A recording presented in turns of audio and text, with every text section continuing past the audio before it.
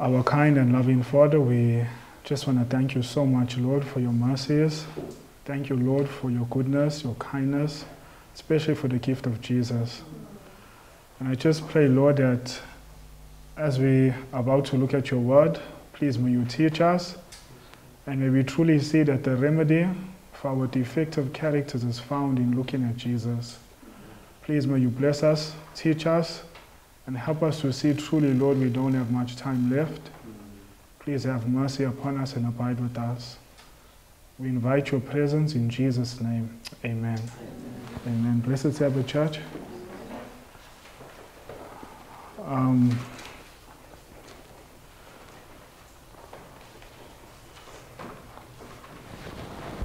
what I want us to look at is a chapter, part of it I believe is present truth now is Daniel 11. Do you believe that Daniel 11 is very important for us in our time? Are we now living in the fulfillment of Daniel 11? But before, maybe before we go there and before we introduce where we're going fully, I want us just to look at something, maybe before we go into our study completely. I want us to look at this quotation. Now, we all, are we all not striving for victory over sin? Is this something we want?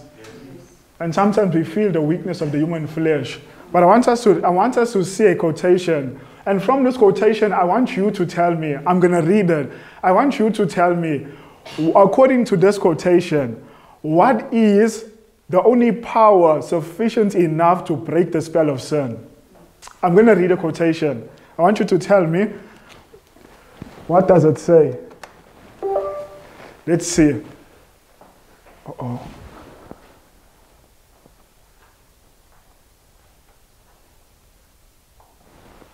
Okay.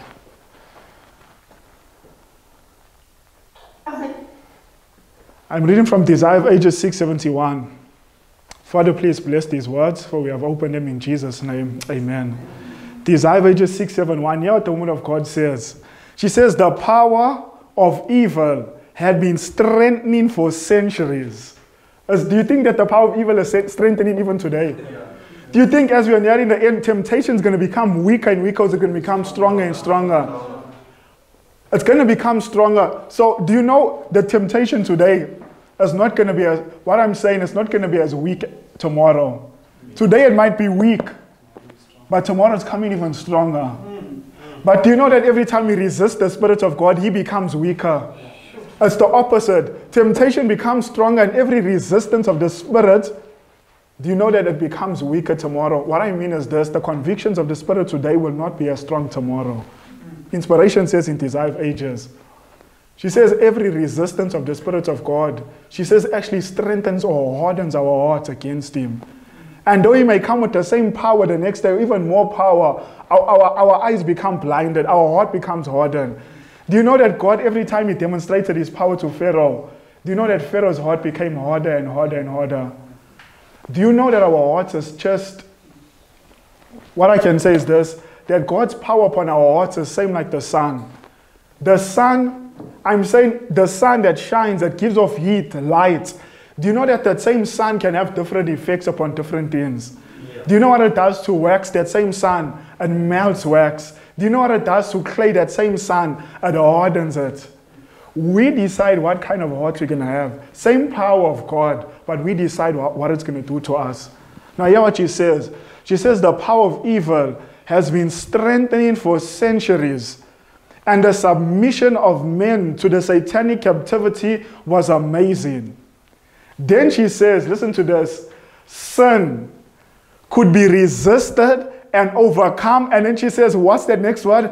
Only through the mighty agency of the third person of the Godhead, who would come, to, would come with no modified energy, but in the fullness of divine power.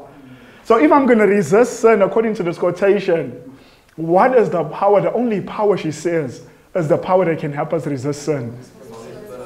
But you know how she introduced, she says the mighty agency of the third person of the Godhead. That's the Holy Spirit. So, my question to you what is the only thing that's going to cause us to gain victory over sin according to this quotation? Holy Spirit. But do you know there is something, I say this very humbly and respectfully, there is something that can overpower the Spirit of God. One sin. it can overpower the Spirit of God. I'm saying that from the very beginning of the great controversy, we have seen the sin. Even when you see, Pilate, you know, friends, I want us to look at Pilate. And I want you to see when Pilate had Jesus in the judgment hall. I want you to see the woman of God says something interesting when she's speaking of Pilate. She says something about Pilate. She actually says he missed his golden opportunity. And I want you to see what caused Pilate to miss this golden opportunity for salvation. Listen to the quotation. She says, yeah, I'm going to read it, Spirit of Prophecy, Volume 3, 131. She says, Pilate turned to Jesus when Jesus was in the judgment hall. And in a respectful voice asked him, Art thou the king of the Jews? Jesus did not directly answer this question. He knew that conviction was awakened in the heart of Pilate, and he wished to give him opportunity to acknowledge as far acknowledge how far his mind has been influenced in the right direction. So when Pilate asked Jesus, Are you the king of the Jews? Jesus never directly answered him the second time. He wanted, to, he wanted him to acknowledge his own personal conviction that Pilate was getting. Pilate was getting convictions that Jesus is truly a king. But then it continues. He therefore answered, saying, Jesus answered, saying, Sayest thou this thing of thyself, or did others tell it thee of me? Let's pause. Are you hearing what Jesus is asking him? Are you hearing what Jesus is asking Pilate? Pilate says, Are you the king of the Jews? Jesus says, Do you say this thing of yourself? In other words, are you acknowledging me as a king? Can you see that I am a king? Or you only asking because others have told you I'm a king? So he's asking Pilate, Are you seeing it? And Pilate was seeing he was a king. But let's see what, what happens. It says, The Savior wished a statement from Pilate whether his question arose from the accusations just made by the Jews or from his desire to receive light from Christ. Pilate longed for a more intelligent faith, the dignified bearing of Jesus, and his calm self possession when placed in a position where there would be naturally be developed a spirit of hate and revenge, astonish Pilate and won his deep respect. The direct question just asked him by Jesus was immediately understood by him. So when Jesus asked the question, the Pilate understand what Jesus is saying. What, what, what does it say? Immediately understood what Jesus was saying. Do you say I'm the king of the Jews because you can see I'm a king? Or you saying it because others told it of you, told this about me to you? And then she says, Where did I stop? It says the direct question Jesus, or the direct question just asked by, by Jesus was immediately understood by him, which evidence that his soul was stirred by conviction. But listen to this but pride rose in the heart of the Roman judge and overpowered the Spirit of God. Let's stop there. I want, I want you to get the lesson. Before I go further, what is the only agency that can help me, the most powerful agency to help me overcome sin? Holy Spirit, the mighty agency of the third person of the Godhead. But here, when Pilate was given the test, basically, Jesus is saying, Do you acknowledge me as a king? What arose within the heart of Pilate that overpowered the Spirit of God, the mightiest agency to help me resist sin? Pride. What did pride do to the Spirit of God? It overpowered the Spirit of God. It says, Pilate answered, Am I a Jew? In other words, I'm not acknowledging you as no king. Am I a Jew? Then it says, Pilate continues, he says, Thine own nation and chief priests have delivered thee unto me. What hast thou done? Here what the next sentence says, Ellen White concludes. She says, Pilate's golden opportunity had passed. His probation there and there closed. What is it that brought Pilate to the threshold of his probation and closed it for him? Pride. Pride. Pride. Did pride overcome the Spirit of God? Did she say that? Can I ask you a question? What was it? What was it that brought Lucifer. Do you know that Lucifer was almost convinced to repent of his sin? Inspiration says in Patriarchs and Prophets. She says he was almost convinced he was on the he was on the brink of repenting of his sin and going back to God and confessing I was wrong. I want you to see what she says in Patriarchs and Prophets. She says, What forbade him to do this? I'm reading from Patriarchs and Prophets, verse 36. Please write these things down, go back and reread them. Patriarchs and Prophets, page 36. Did I say 36? Yes. You know what? I think it's, let's go to page 37. Page 37. She says, speaking about Lucifer, she says, leaving his place in the immediate presence of the Father, Lucifer went forth to diffuse the spirits. Mm. Oh, friends, was that the right one? Actually, it's page 39. I'm so sorry. Scratch that one out. But read the whole chapter. The whole chapter is powerful. She says, now let me say this. Before Lucifer rebelled, was there ever sin in the universe? No. Question When Lucifer rebelled, did Lucifer knowingly rebel? Yes. That's not what inspiration teaches. That's not what inspiration teaches. She says Lucifer did not see he did not understand this rebellion that was taking place within his heart. She says he could not see things very clearly. But she says, I'm going to read it now. But she says a time came now when everything became clear to him. And he realized he was on the wrong. You listen to the quotation. She says, In great mercy, according to his divine character, God bore along with Lucifer. The spirit of discontent and this affection had never before been known in heaven. It was a new element, strange and mysterious, unaccountable. Hear what she says now. Lucifer himself had not at first been acquainted with the real nature of his feelings. Are you hearing what she's saying? He was not acquainted with the real nature of his feelings. He did not understand what's happening. She says here, for a time he had feared to express the workings and imaginations of his mind. Yet he did not dismiss them. So he didn't understand what was going in his heart, this, this, this battle that was going on in his mind. He couldn't understand. But at the same time, she says he was fearful to express it in the beginning, but he also did not want to dismiss it. So what was he doing? He was lingering with temptation. He lingered with it. And sometimes, you know, th- that's what we do. We linger with temptation, and then next minute we look, oh, boom, do you know what Eve, what her failure was? She lingered with temptation in the garden. We cannot, we cannot have all conversations with Satan. His own mind deceived him. His own mind deceived him. Now, she continues to say. Do you question? Do you think God understood this about Lucifer? I'm saying when, when this was happening, did God understand? Lucifer understands everything what he's doing, or did God see? Does not see clearly where his feet standing. God saw it. So God was, that's why she starts the sentence by saying God bore long with Lucifer. He was bearing long because he understood, even though he was causing dis- disaffection amongst the angels, God could see this being does not see what he's doing fully and clearly. And so God bore long with him. Is this a lesson for us? The G- question Did Jesus have a disciple in whom he said that one of you is the devil? Did he bear long with that disciple? But question, was there a time when God cut off Lucifer? Was there a time when he cut off Judas? Yes. But can we see the words to cut off?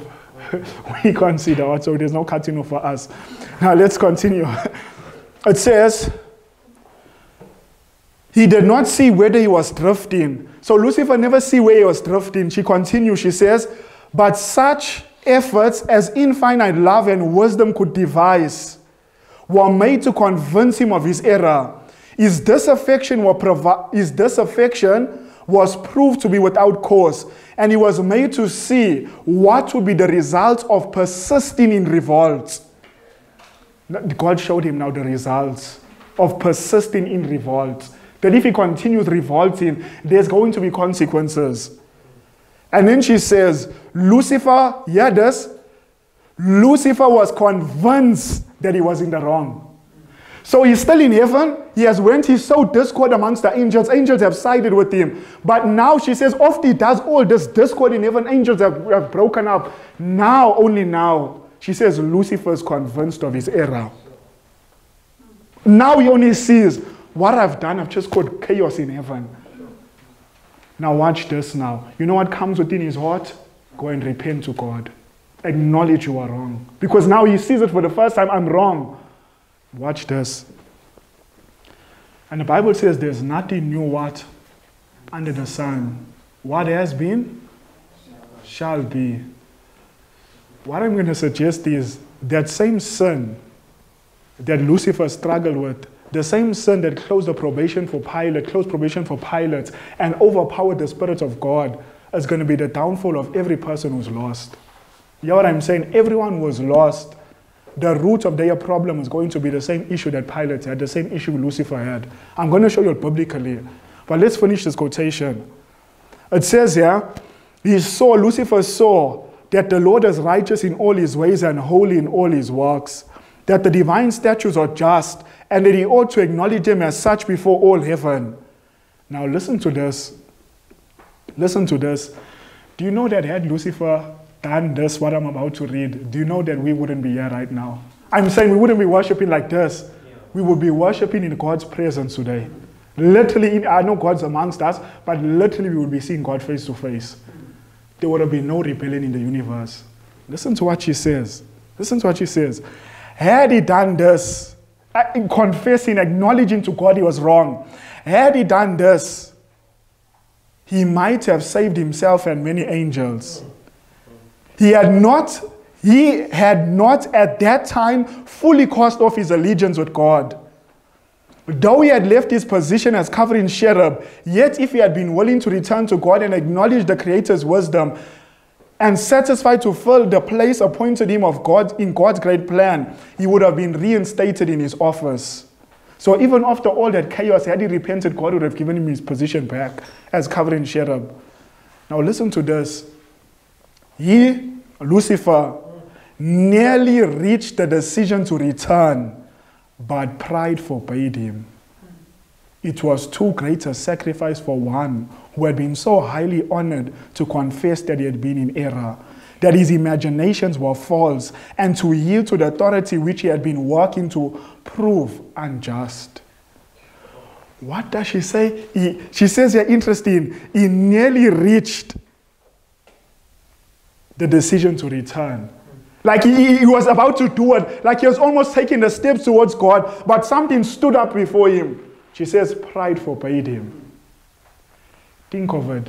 Because of his rebellion, how many people are going to be lost? Not only him, not only the angels, but do you know that millions, billions of wicked people? Because Lucifer had a problem with what? Pride. Pride forbade him. Pride forbade him. I'm going to suggest this, friends. Do you know? I'm going to say this. Oh, friends, come with me to Malachi 4. I want you to see something. You know what? Let's go to Malachi 4. Come with me to Mal- Malachi is the last book of the Old Testament. Malachi chapter 4. Malachi, the last book of the Old Testament. Malachi chapter 4. You know what? Before Malachi 4, did I say Malachi 4? Come with me to Job. Let's go to Job. I want you to see something in Job before Malachi. Then I want to pause. I want to introduce something, then I pause and pray. Come with me to Job. Where are we going to? Job. What chapter? Oh, okay. We're going to Job chapter 41. Job 41. Job chapter 41. Now, as you're going to Job 41, I want you to look at the screen. The screen. Job 41, I want you to look at the screen. Now, you tell me, you tell me, I want you to tell me, we're about to read Job 41. But before I read Job 41, I want you to tell me, tell me what is the most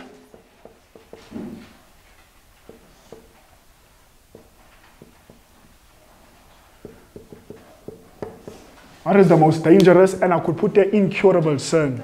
Listen to what she says. Christ Object Lessons 154.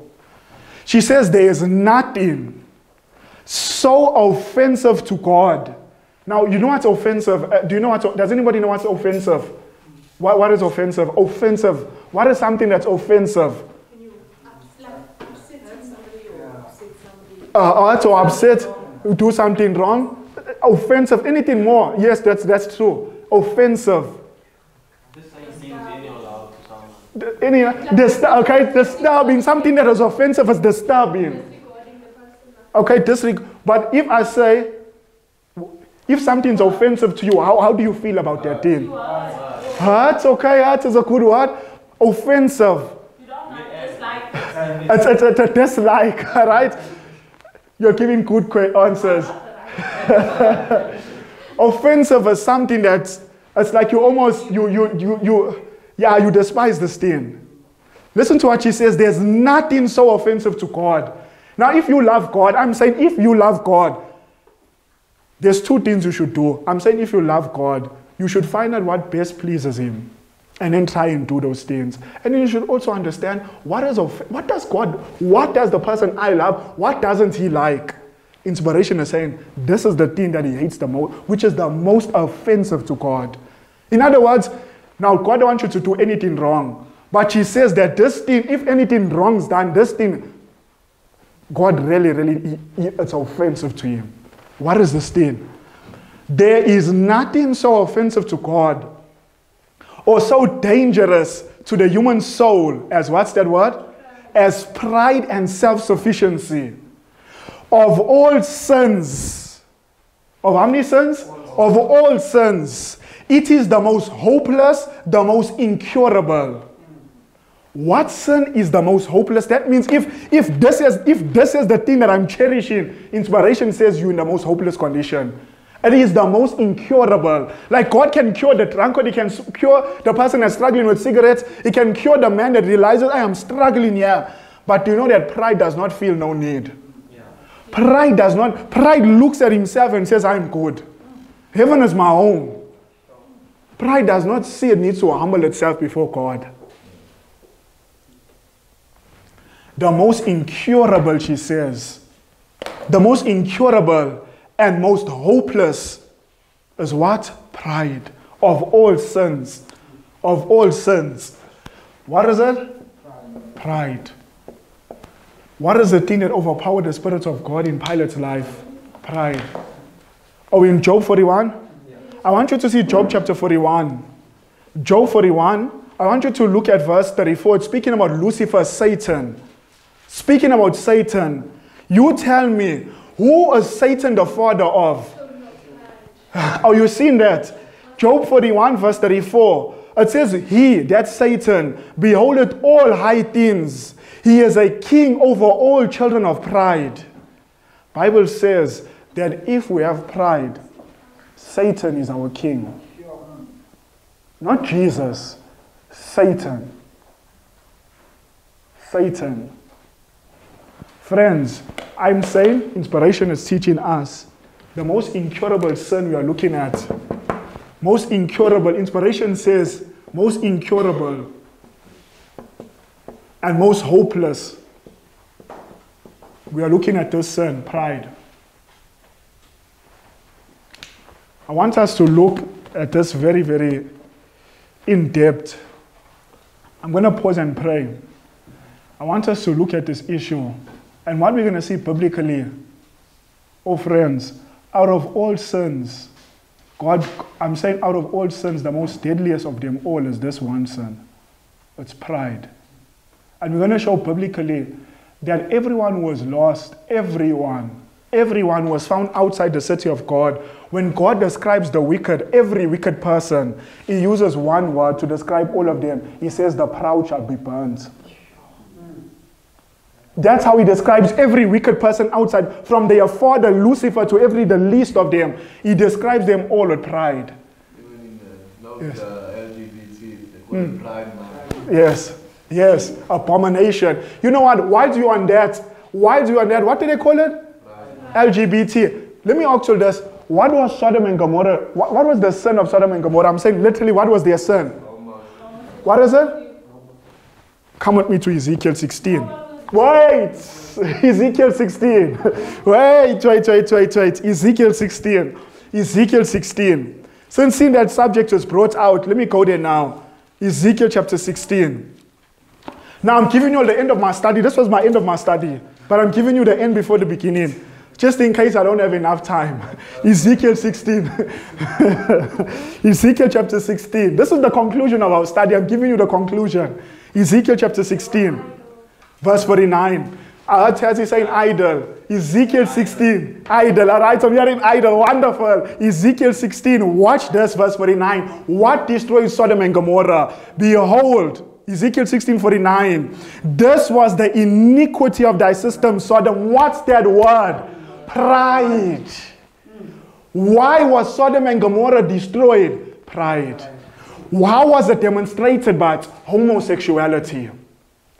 The root of homosexuality, biblically speaking, was pride. What I'm saying is, God saying why I destroyed them was because of pride. Their pride led them to commit the sin of homosexuality. Pride can lead us to commit the sin of dressing inappropriate. There's pride of dress. Pride can lead us to having a perverted appetite. Pride can lead us, what I'm saying is, pride, pride can lead me to make my opinions an idol. Friends, And a, and Yes. And a proud someone would not submit. oh, Will not a proud, the, the Lord, Lucifer was brought to the point of almost it, but pride forbade him. You can't submit, you're too great. You can't do it. Because even with the, these LGBT people, the, the spirit that's convicted him, Yes. this is wrong. Yeah ah, this is me and I'll be this. Mm, mm. Pride. It's pride. It is pride. It is pride. I want to pause and pray. I want to pause and pray. What you know what? Before I pause and pray, I want you to see something. Let's read. Let's read this quotation. I'm giving you what I'm looking at you now is the conclusion of the matter. This is the conclusion of my study. Even these quotations are right at the end. But let's look at it, and then I want to count, reverse and start again, and then come to this point. Now listen to what she says. Volume five of the Testimonies, three three seven. Now it's called Testimonies for the Church. So who was this written for? If it's called Testimonies for the Church, that means it was written for me and it was written for you. Now listen to what it says. God does not regard, what's that next word? All sins as equal magnitude. Pause. Does God regard all sins as equal magnitude? No. If I should say to you, if I should say this to you, that that man drinking there outside, I'm just making this up, man drinking outside somewhere there and smoking cigarettes, smoking whatever, if I tell you this, that that man is in a better condition than us inside the church who have pride within our hearts, would you believe me? I, I'm going to read a quotation now. We're going to see inspiration says the man, the drunkard is despised. He's told he's not going to heaven. And that's true. A man who continues continuing in a pot of wrong, he's not going to go there.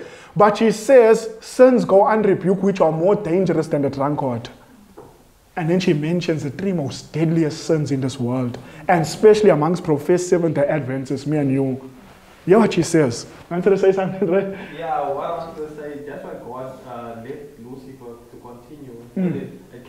It, it came to understand. Stand, yes, wrong, yes, For you to yes. Likewise, what you were saying, the one that don't know what he's doing is wrong.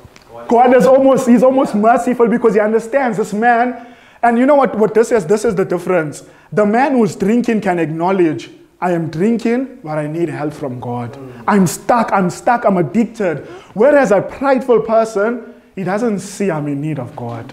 He doesn't see I'm struggling with this. I'm, he looks at himself like heaven's my home. Should Jesus come? Should I'm ready?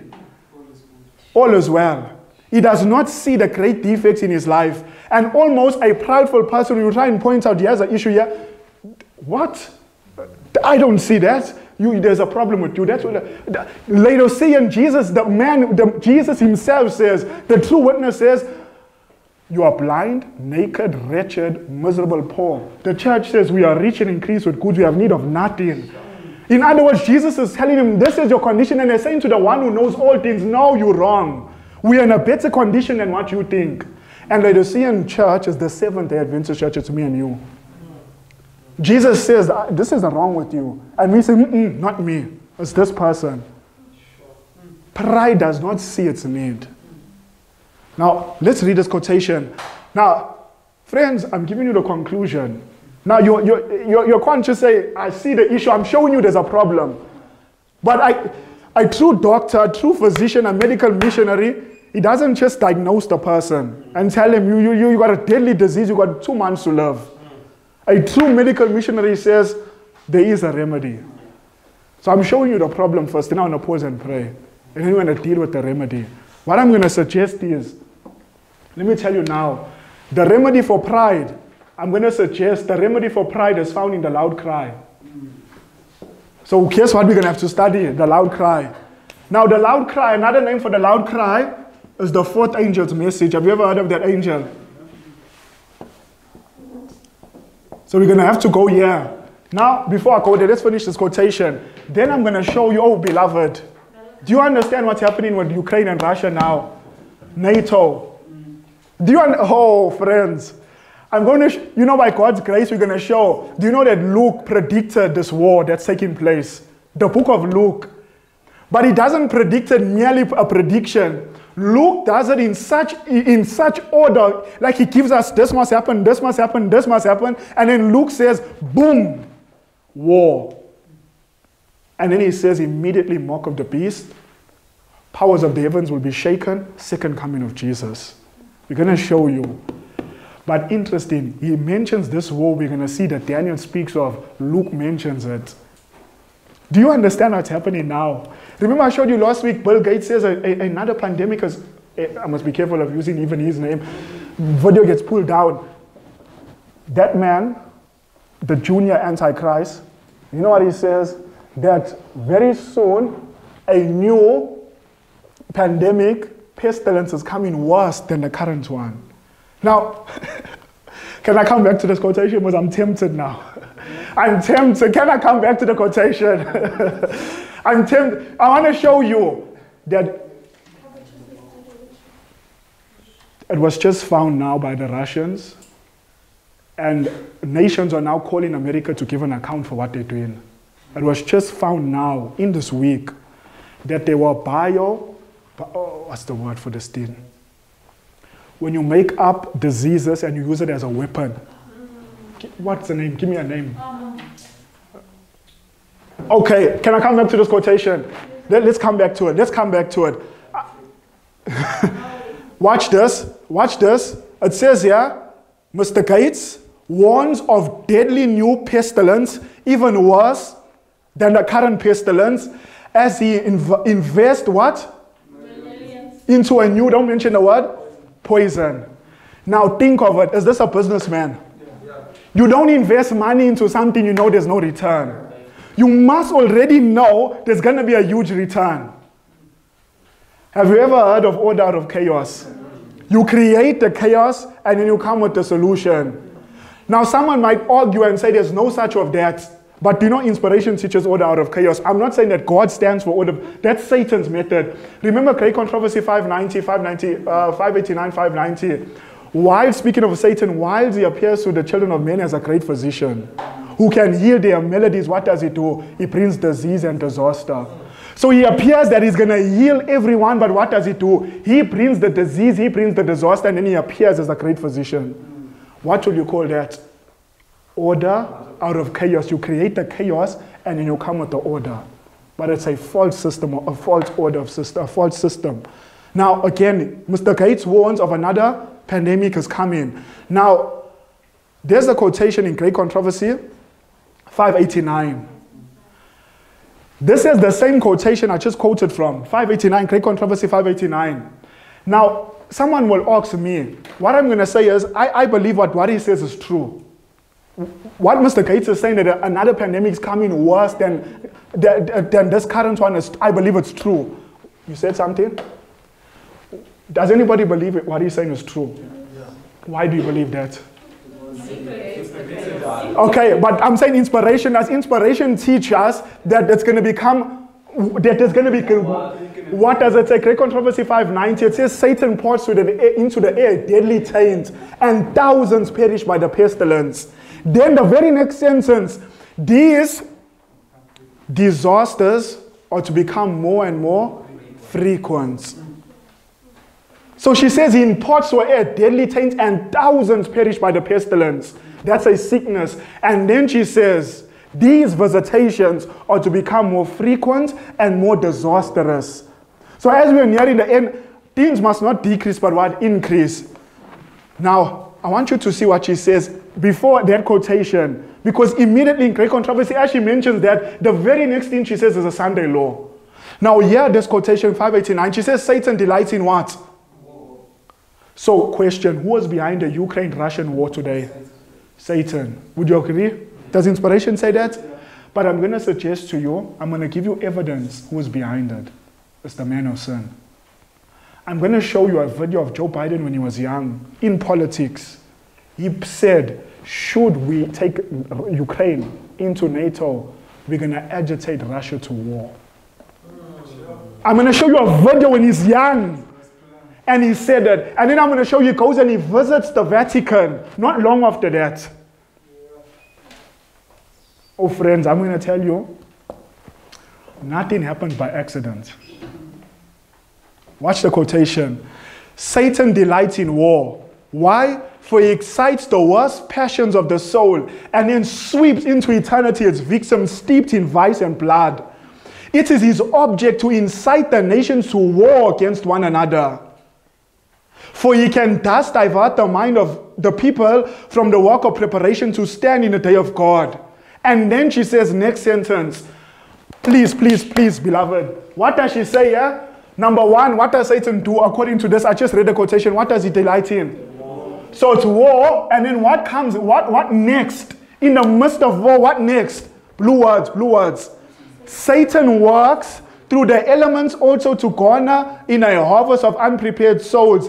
He studied in the secrets of the laboratories of nature.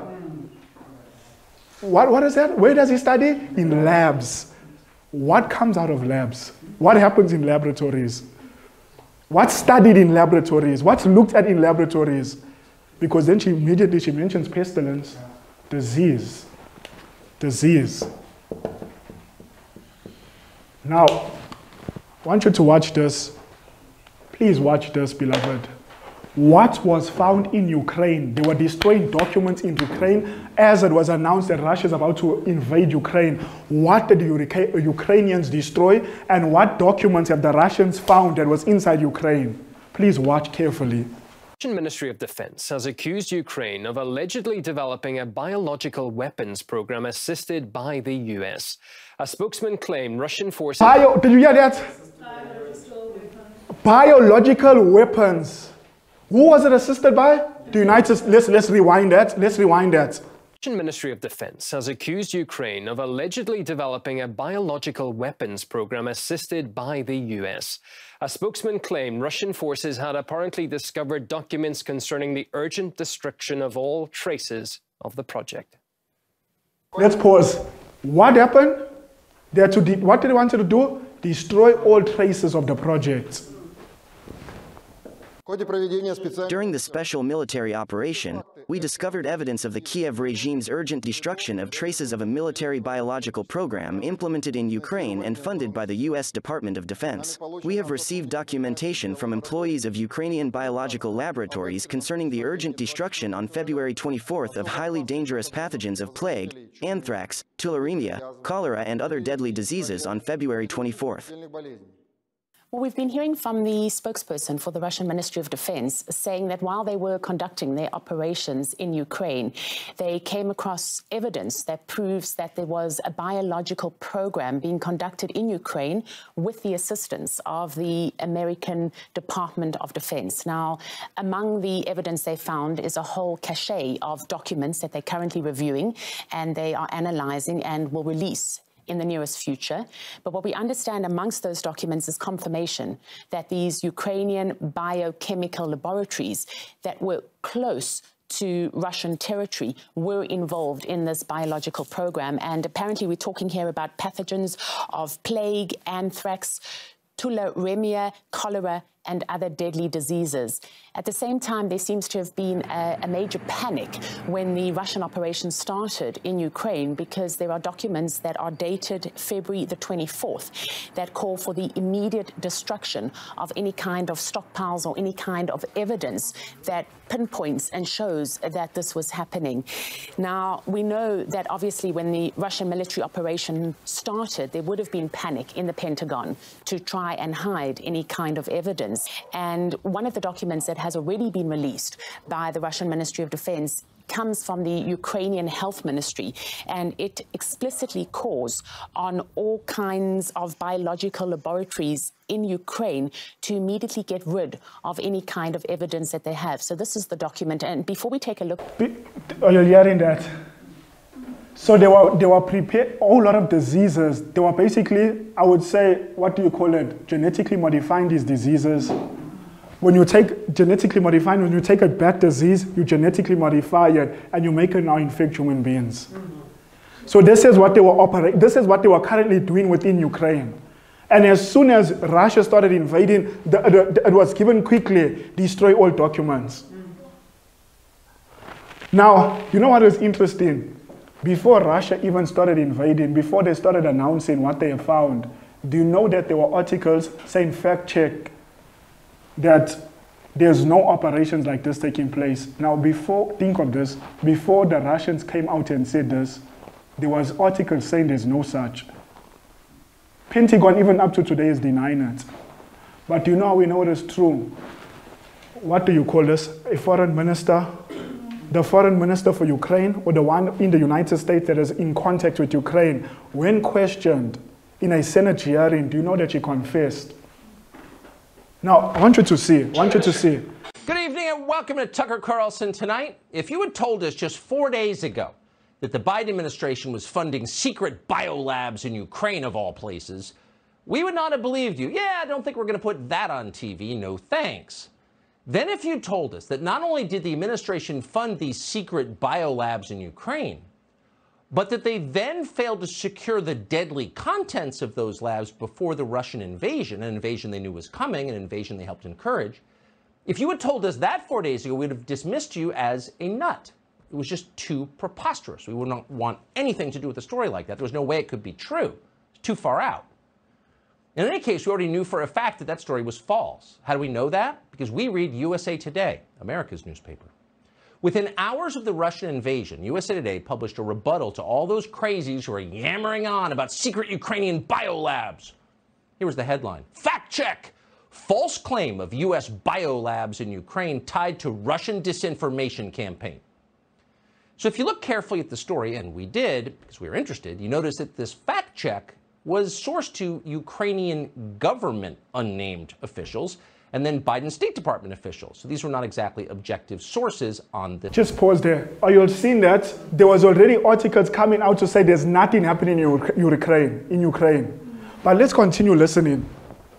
This subject, but still, the story seemed definitive. It was totally emphatic. Quote, Russia has teamed up with China to further amplify the false claim of U.S. labs in Ukraine. Okay.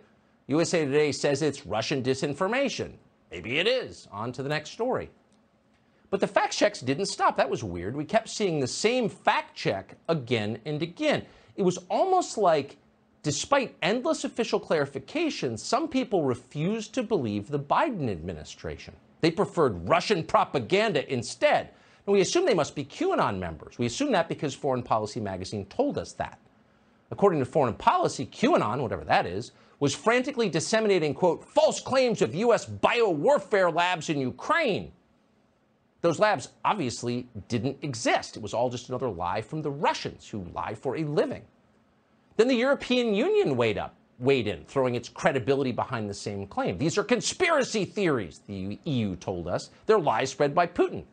An EU spokesman then reminded us that, quote, the credibility of information provided by the Kremlin is in general very doubtful and low. That was good to know. Quote, Russian disinformation has a track record of promoting manipulative narratives about biological weapons and alleged secret labs. Yeah, we're not. Yes, you see now European many articles are coming out saying that no such thing is happening? Now watch this. You know, the best person to speak to is the person inside United States who has connection with the, the foreign minister, so to speak, from United States with Ukraine. I want you to see when she was questioned in the Senate, what did she say? I'm to do a segment about secret labs in Ukraine. The last thing we want to do on this show is traffic in Russian disinformation spread by QAnon. So we took a pass on that story. And that's where things stood until yesterday when we happened to tune in to a hearing of the Senate Foreign Relations Committee. Toria Nuland was testifying, so we are interested. Nuland's one of the people who brought us the Iraq War, never apologized for that, and kept getting promoted because that's how DC works. Toria Nuland is now Joe Biden's Undersecretary of State in charge of Ukraine, and she knows a lot about Ukraine. In 2014, Toria Nuland engineered a coup in Ukraine in the name of democracy, of course. So she is a highly informed source about Ukraine. So she was having this colloquy with Senator Marco Rubio of Florida during her testimony. And at one point, Rubio took a tack that we were not expecting at all. He asked Nuland if Ukraine had biological weapons. We never imagined Ukraine would have biological weapons. Why would Ukraine have bioweapons? So it seemed like a pretty strange question. But it wasn't half as shocking as the answer he got. Watch what Toria Nuland said. Does Ukraine have chemical or biological weapons? Uh, Ukraine has uh, biological research facilities, which, in fact, we are now quite concerned Russian troops, Russian forces may be seeking to uh, gain control of. So we are working with the Ukrainians on how they can prevent any of those research materials from falling into the hands of uh, Russian forces should they approach. Does Ukraine have biological weapons? Uh, Ukraine has biological research facilities. What? Now, are you seeing now all those articles were, those fact checks were all lies? Because the woman is confessing. In Senate, she's confessing, yes, they do have this thing. Now, why is men tampering with diseases? Unless they're preparing for another pandemic. China itself, I want you to see China itself is calling out United States for what was found in Ukraine.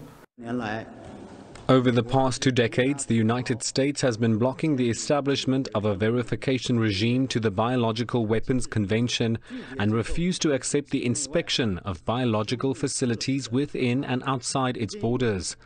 The move has further aggravated the concern of the international community. We once again urge the US to provide full clarification of its biomilitarization activities within and outside its borders and accept multilateral verification. Are you hearing what China is saying? They're calling out America for being involved with these biological weapons, not only inside their own borders, but also outside of their borders. And they say America must be called to an account for what they're doing. So what are we saying? Another pandemic is coming. And it seems as if God delayed your plans in Ukraine because the next disease was going to spring out from Ukraine, if not Ukraine, somewhere else, but it was being developed in Ukraine. And in God's providence, a war breaks out in Ukraine to halt them in their process of releasing this new disease. Very interesting. Before we continue, friends, let us pause and pray and then get into our study. I've not, I've given you the end of the study. We need to go and rewind now. Those who can, let's kneel.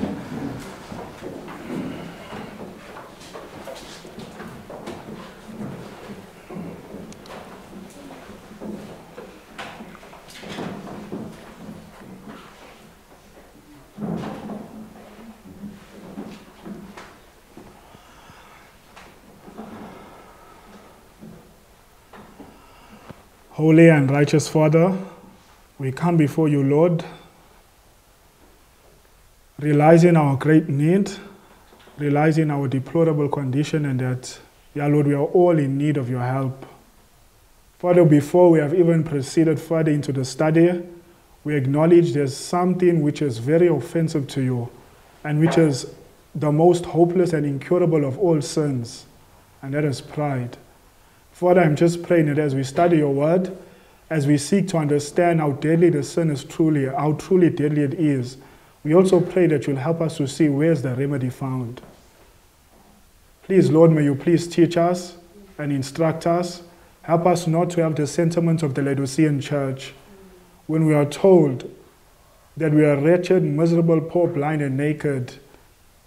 We protest against such a declaration and like Peter, we tell Jesus that he has made a mistake, that such is not true. Oh, Father, help us to see our true condition. And I just pray that as we see our true condition, As we see how wretched we are truly are, may we flee into that city of refuge, which is Jesus. We are told in Proverbs 18, verse 10, that the Lord is a strong tower, the righteous run into it and are safe. Help us to see our only safety is in Jesus. And please, Lord, I just pray, may what happened to Pilate may not happen to us. May pride never overpower the Spirit of God within our own lives. Please, Lord, this is the sin that closed probation for Pilate. It is the sin that closed probation for Lucifer. And we saw that Job teaches us, your word teaches us, that all the proud, Satan is king. He is king of all the children of pride. So, Lord, we do not want him to be king of our lives. We want Jesus to reign supreme within our hearts, within our lives. Please, may you teach us, Lord. Please, may you instruct us. And we know that pride can be manifested in so many different ways, not just in one aspect, but in many ways. And I just pray that as we study, Lord, may your Spirit touch specifically on idols within our life. Show us where it is that we have a pride of opinion, where it is that pride is fostered within our own lives. And as you touch these idols, Lord, may we submit and allow you to take them out of our lives. Please, may you abide with us now and teach us, for we ask these things humbly, Father, in Jesus' name. Amen. Amen. Amen.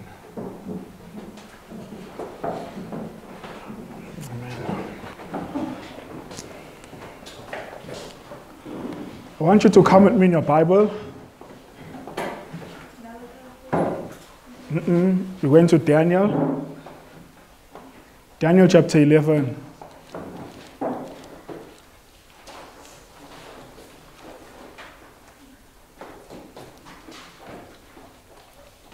Daniel chapter 11. Now, in the book Maranatha, page 174, Daniel chapter 11, we're going to look at. But I'm not going to spend much time here. Daniel chapter 11. In the book Maranatha, page 174, we are told that Maranatha 174, she says, the world is stirred with the spirit of war. What does she say the world is stirred with? The spirit of war. And then she says the 11th of Daniel has nearly reached its complete fulfillment. Then she says immediately the next sentence, she says, soon strife will break out amongst the nations, which we do not now anticipate. So according to Ellen Mind's mind, Ellen White's mind, that she's eh, in, in, in, in her mind, that she's seeing in Daniel 11 a war that's going to break out amongst the nations. And then she says it's not going to be an ordinary war. She says with such intensity that we do not now anticipate. So there's something in Daniel 11, she says, reveals there's going to be a war. Now, what I'm going to suggest that Daniel 11, true, it does speaks of the papacy. Daniel 11, the king of the north is the papal system. That is true. But the papacy never uses its own power to destroy. It uses other power to destroy. You say, how do you know that? Me to Daniel 8. I want you to see Daniel 8 speaking about the king of the north, but using different language, the papacy. I want you to see Daniel chapter 8. Daniel 8, I want us to look at Daniel chapter 8 verse 23. Daniel 8, verse 23, speaking about the papacy. It says in Daniel 8, 23, it says, And in the latter time of their kingdom, when transgressors are come to the full, a king, speaking about the papal system, a king of fierce countenance and understanding dark sentences shall stand up. Verse 24. Now, watch what's going to happen about this king, the papal system. It says, And his power and his power shall be mighty. So will the king of will the papacy be mighty? Yes, but watch this, but not by his own power. Are you understanding what the Bible is saying? Will the papacy be mighty? But will it be its own power? Some other, other people's power being used by the papacy. Other people's power. It says, and his power shall be mighty, but not by his own power. He shall destroy wonderfully and shall prosper and practice and shall destroy the mighty and the holy people. According to this verse, does it predict he's going to kill God's people? Yes, Revelation 13 15, a dead decree. Now, watch verse 25. I'm going to suggest that he kills through the, through the name of peace. He kills through the term of peace. Look at verse 25. And through his policy also he shall cause craft to prosper in his hands. He shall magnify himself in his heart, and watch this, and by peace shall destroy many. He shall also stand up against the prince of prince, but he shall be broken without hands. According to this verse, how does the papal system kill? Through, through peace. So, question whilst the war which the papacy wants is taking place, what do you think the papal system is going to be calling for? Oh, friends. Do you know that he's calling for peace? But I'm going to show you he is behind the war. Where's my, where's my article? Where's my article? M- March 6th, 2022. What did the man of sin say? Was madness. But does he believe that? You don't believe that? Was madness. Please stop. Pope Francis calls for peace in Ukraine. What does he call for? But question, what does the Bible say it'll kill through? Through peace. So who do you think is behind the war? the man of sin. Now coming into Daniel 11, let's look at Daniel 11 a little bit closer. Daniel chapter 11, verse 40. Review now. Daniel 11, verse 40. Daniel 11, verse 40. It says, Daniel 11, verse 40. It says, And at the time of the end, are we there? Shall the king of the south push at him? So, what the king of the south is going to do to the king of the north? It's going to push at the king of the north. Now, the word push doesn't mean to give him a kiss, give him a hug. What does the word push mean? A deadly wound. Remember, we looked at it Exodus 21 28. A god, this word push is the, actually the, the, the Hebrew word. When you look at it, it's actually when you check it up, the other word applies in the Bible. It translates the same word push in Exodus 21 go. What does what goes? It says if an ox go a man and he receive a deadly wound. So this word push means to get a deadly wound. So does that imply war? It implies war. It implies war. Now, you know what I'm going to do? Let's do this. I'm going to come back to Daniel 11 because there's, there's, there's things we need to come to get to Daniel 11. I'm going to show you that the purpose of NATO was to make sure that the king of the south never that the king of the south gets pushed down and he doesn't ever come into power. I'm going to show you the purpose of NATO. NATO was an arm of the papal system. We're going to show you. They were designed to make sure communism doesn't rise. But I'm going to come back there. Come with me in your Bible. Let's do this. Come with me in your Bible to Luke 21. Let's, I'm coming right back to Daniel. Come with me to Luke 21. Luke chapter 21. We're going to Luke, the 21st chapter. Now, can someone tell me what was Jesus asking in Luke 21 in verse 7? Luke 21, verse 7. What was Jesus asking in Luke 21, verse 7? What? When will what happen? when will what happen? You're right. The end of the world. Yes, this is what he was asked. Now, I want us to look at Luke. You know what Luke's going to do? Luke's going to give us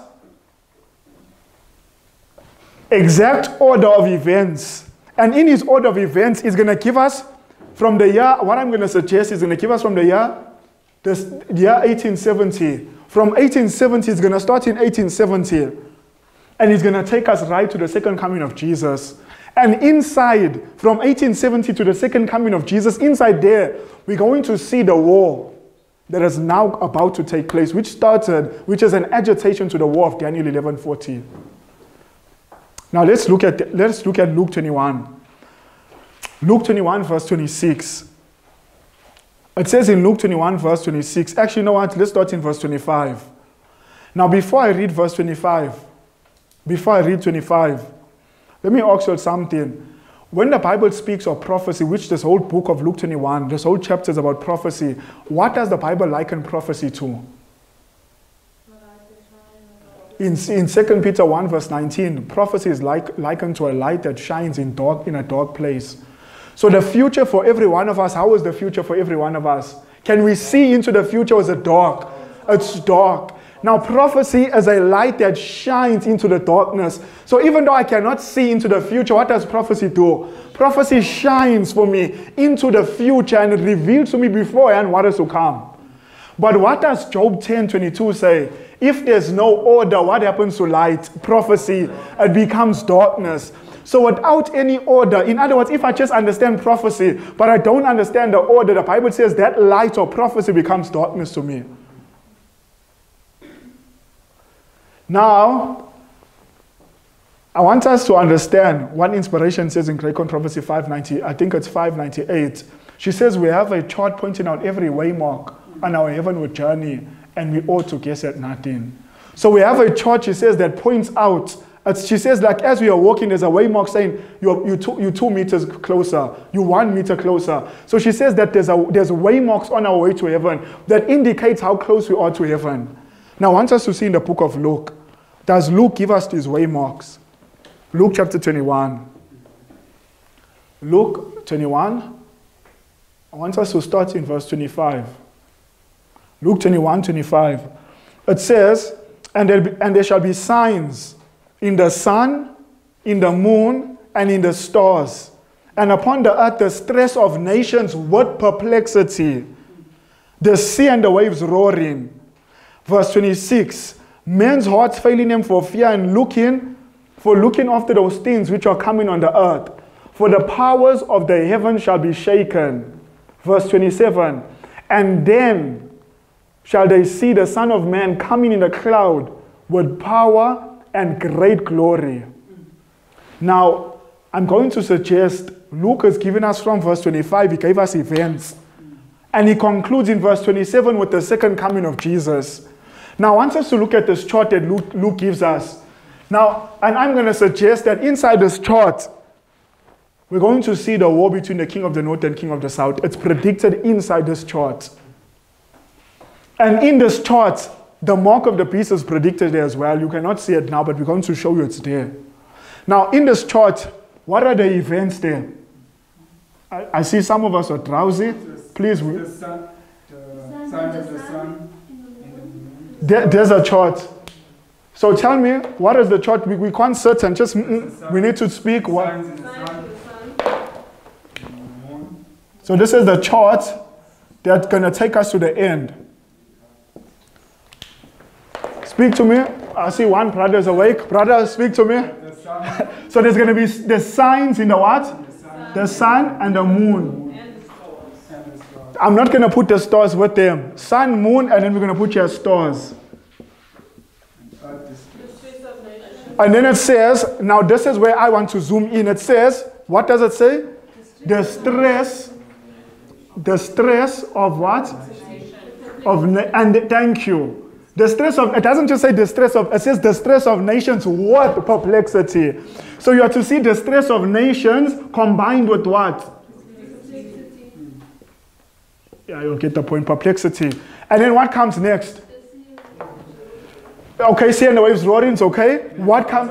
Okay, men's hearts are failing for fear, for looking for what's coming upon the earth. And what, what? It says the powers of the heaven shall be shaken. So let's put here powers of the heavens. Powers of heavens shaken. And then what does he say is the last event? The second coming of Jesus. So this is a chart from this point to the conclusion of the matter, which is the second coming of Jesus. Now, inspiration says in the book Education, my, my question to you is this What year are we in today? What year is this? What year? 2022. In this chart of 2022, you must be able to pinpoint where we are. You say, why do I say that? Education 178 says it, the inspiration says we must be able to pinpoint where we are in the prophetic chart. Education 178, the woman of God says, the history, this is history, which the greater I am has marked out in his word, from eternity in the past to eternity in the future, tells us where we are today in the great procession of the ages. She says that all that prophecy has foretold has coming to pass can be traced in the pages of history. Let's pause there. She says all that prophecy has foretold has coming to pass can be traced in the pages of history. What do you call it when prophecy is now fulfilled? What will you call that? Prophecy when prophecy becomes fulfilled. Okay, light. Thank you. But when prophecy becomes fulfilled, what do you call that? It's history. What we look for in the future is prophecy. What we look at in the back is history. So, for example, Daniel predicted in Daniel 2 Babylon, Medo Persia, Greece, Rome. That was prophecy in Daniel's time. But in my time, that's history, it's not prophecy. Because why? It has been fulfilled. And then she goes on. She says, she says, she says, the history which the great I am has marked out in his word, uniting link the link in the prophetic chain, from eternity in the past to eternity in the future, shows us where we are today in the great procession of the ages. So she's saying that what God has linked out in his word, she says we can look at this chart that is linked out from eternity to the past to eternity in the future, and we must be able to pinpoint and say, this is where we are in this chart. So my question is this where are we in this chart? In 2022, where would you place us in this chart? so you say the stress of nations. You say, so if, if you, are you telling me that prophetically, 2022, you're telling me we're standing near the stress of nations? Huh? Sorry? Uh, what are you saying? By the signs? What, What's that? Oh, we can't be, we're not yet. Where, where are you saying? Okay, so what I'm hearing, people are saying the stress of nation. So you're saying in 2022, this is where we are standing. I'm, I'm asked, do you know what's the powers of the heavens been shaken? What is the power of the heavens been shaken? Let's see publicly. Come with me to Hebrews 12. Hebrews chapter 12. Hebrews 12. Hebrews 12. Be, be, before we study what the power of the heavens been shaken, we must first identify what shakes the power of the heavens. What shakes it? I want us to see Hebrews 12, verse 25 and 26. Tell me what shakes the powers of the heaven. Before we study the shaking, we must first understand what shakes it. Hebrews 12, verse 25 and 26.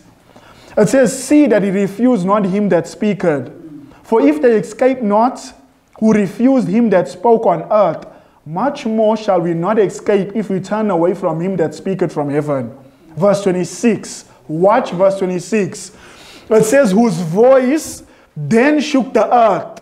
But now we had promised, saying, Yet once more I shake not the earth only, but also heaven question according to this verse what is the thing that's going to shake heaven? Because it says powers of the heaven shaken. What is it that shakes heaven according to this verse? God's voice. So let's write down this. So according to we understand what's the power of the heavens been shaken to identify where we are in 2022 and does the bible predict the war between king of the north besides daniel king of the north verse king of the south Now, what shakes the powers of the heavens? Speak to me. The voice of God.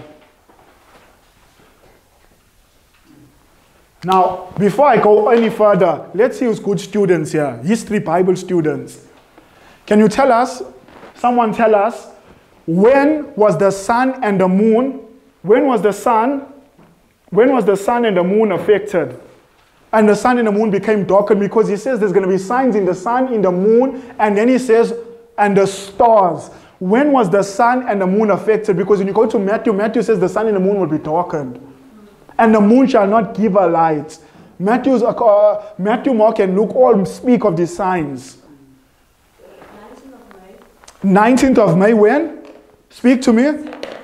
So this took place 19th May 17, 18. Now, this is basic Bible studies. This is basic your elementary studies. We've covered this. So we know definitely we're not in the sun and moon era. We passed 19, the 1780s. When were the stars? When did the stars fall from heaven? Because Matthew says the stars will be fallen. Luke, uh, Dan, uh, John says in Revelation 16 they're going to be shaken from the sky. When were the stars shaken in the sky? Literally every star in the, uh, in the sky was moving out of its place. When did this take place? 13th November, when? 13 November 1833. 1833. So I know for sure we're not in the sun and the moon because we passed 1780. We're not in 1833, we passed it. So that means I'm after, I'm somewhere between the stress of nations, powers of the heaven shaken, and the second coming of Jesus. Now, I want us to see now we are studying the powers of the heaven shaken to identify where we are standing prophetically. Come with me now. What shakes the powers of the heavens? Now come with me to, to Joel. Joel's gonna tell me, he's gonna give me some light more than the book of Hebrews. Come with me to Joel. Or Joel's gonna say it more clearly. Come with me to Joel chapter 3.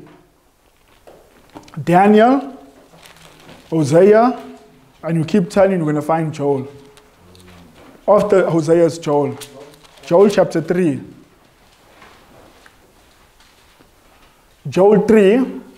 I want us to see Joel chapter 3, verse 15, verse 16. Are we there? Joel 3, verse 15 and verse 16.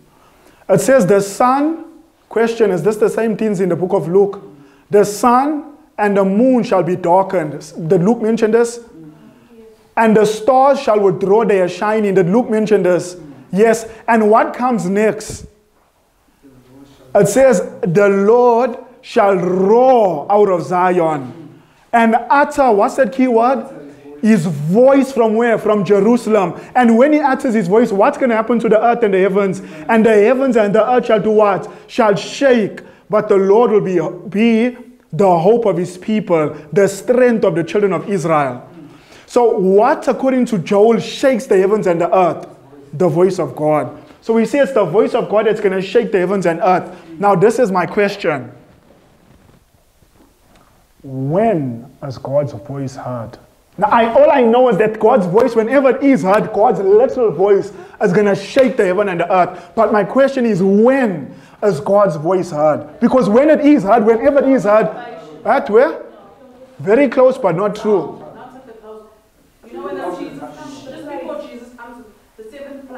Thank you, Mother. Come with me in your Bible to Revelation chapter 16. Revelation 16. At where, where did you say his voice is heard? and the seventh plague. Let's see that. Revelations chapter 16. Revelations, the 16th chapter. Revelation chapter 16, verse 17. Revelation 16, verse 17. Are we there? Revelation 16, verse 17. It says, And the seventh angel poured out his veil into the air. So this is the seventh plague, right? As probation closed, or it's way closed? It's way closed, right? So it says, and the seventh angel poured out his veil into the air. And there came, what is it next? What does it say there? A great voice out of the temple of heaven, out of the temple of heaven, from the throne saying, It is done. Is that the voice of God? Verse 18. And there were voices, thunderings, lightnings, and a great earthquake. Was the earth shaken? Such was not since men were upon the earth, so mighty an earthquake and so great. So my question is this: When is the voice of God heard? Speak to me. When was His voice heard? At the seventh plague. Now, question: what are the plagues poured upon? That's not a good enough answer. Who was the plagues poured upon? Those who have the mark of the beast. Those who have the mark of the beast. So the seventh plague comes on those who have the. Now let's reason together. If the powers of the heavens been shaken as the voice of God at the seventh plague, what does that imply? What must happen before that seventh plague? Think now. The plagues only fall on those who have the mark of the beast. So can there be any plagues if no one has the mark? So question: What must come just before the powers of the heavens been shaken? So just before the powers of the heavens been shaken, I can put it in between the stress of nations and powers shaken. What must take place? National Sunday law. So I know I'm not yet at the seventh plague for sure. I know we're not yet at the National Sunday law. That means by I have to be by default by the distress of nations with perplexity. According to Luke, of the distress of nations, with whatever it is, I don't know as yet. We're going to study it and see what it is. According to Luke, of the distress of nations with perplexity, what does he say come next? I'm saying in Luke's chart, I'm saying we, we, we reason this chart out. What comes next? National Sunday law. What does that mean for Seventh day Adventists? Our probation is about closing. no time to prepare. What if I tell you in 2022 we are standing on the brink of the distress of nations with perplexity? Now, what I want us to do, let's look at this phrase, distress of nations. And let's see how does the Bible use this phrase, distress of nations. How I'm saying when the Bible uses distress of nation, what is the context of God using these words, distress of nations? Come in your Bible to Isaiah 29. Isaiah 29.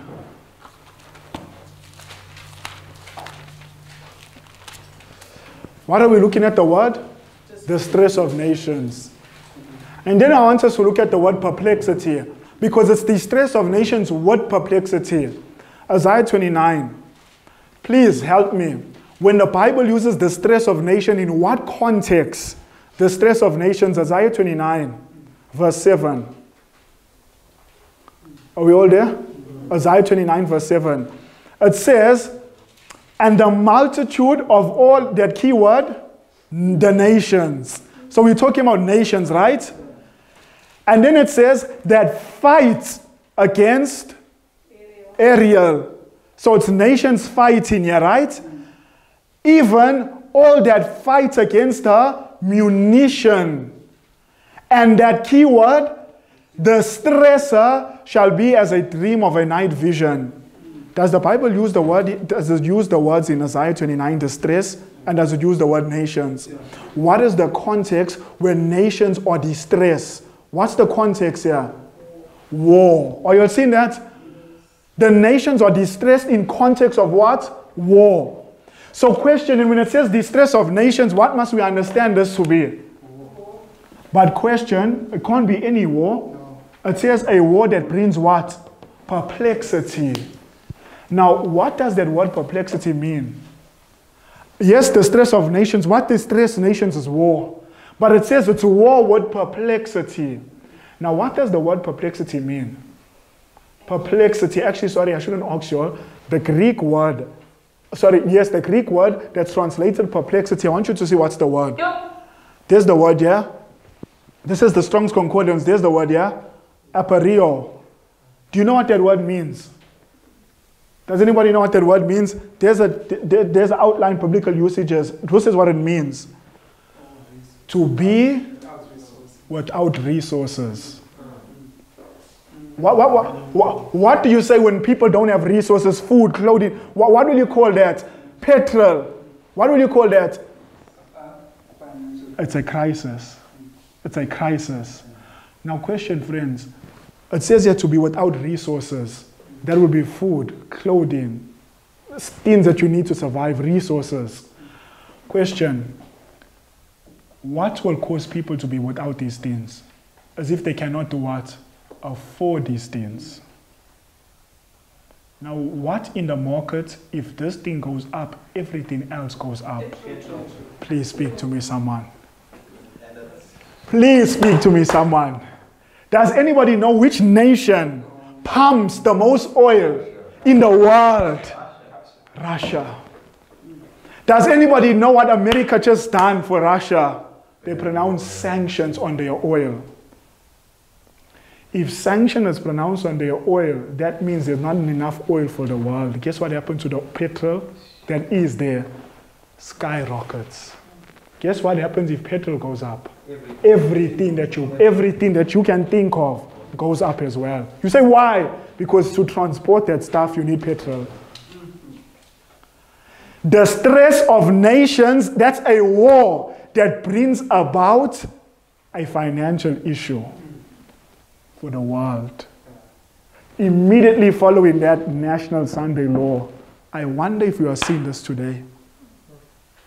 I wonder if you're on the brink of this. I want you to see this. It says here, Biden, now interesting, Daniel 11 verse 40 says that the king of the north is going to come against the king of the south, He's going to use two things ships and horsemen. Can you remember we studied it for almost how many weeks? What does ships represent? Economy, sanctions. Sanctions. It says here Biden blocks Russians oil imports in latest round of sanctions on Kremlin. Again, Russia Ukraine war, oil prices increase. Chance of a what? A recession. Again, Russia's war in Ukraine has driven up gas prices. Will rising oil costs increase, increase food prices next?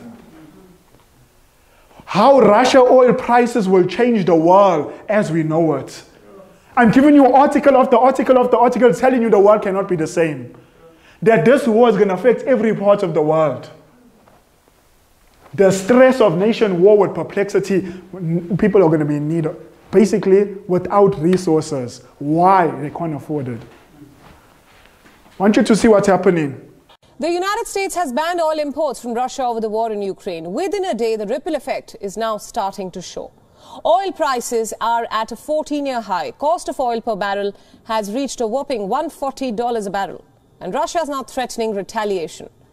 So the US is hunting for alternatives. The US So what is the US now doing?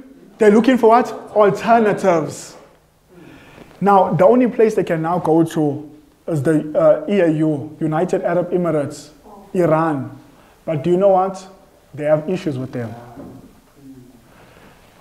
Biden called them, and guess what? To try and get a meeting with them, they have ignored his calls. Guess who they've been speaking with? Mr. Putin. Because all oil companies are together. He is the second to Russia as the EAU, United Arab Emirates, and they're in connection. And they declined Biden's of Biden's Biden basically called them to help pump more oil. So because they sanctioned Russia, but they're not doing it. They're not doing it. So if they're not going to listen and pump more oil, guess what's going to happen to oil prices? They're going to have to go more up. He was looking to drop the prices by getting them to pump more oil, and they say, nope. You, you say, but why, why won't they do that?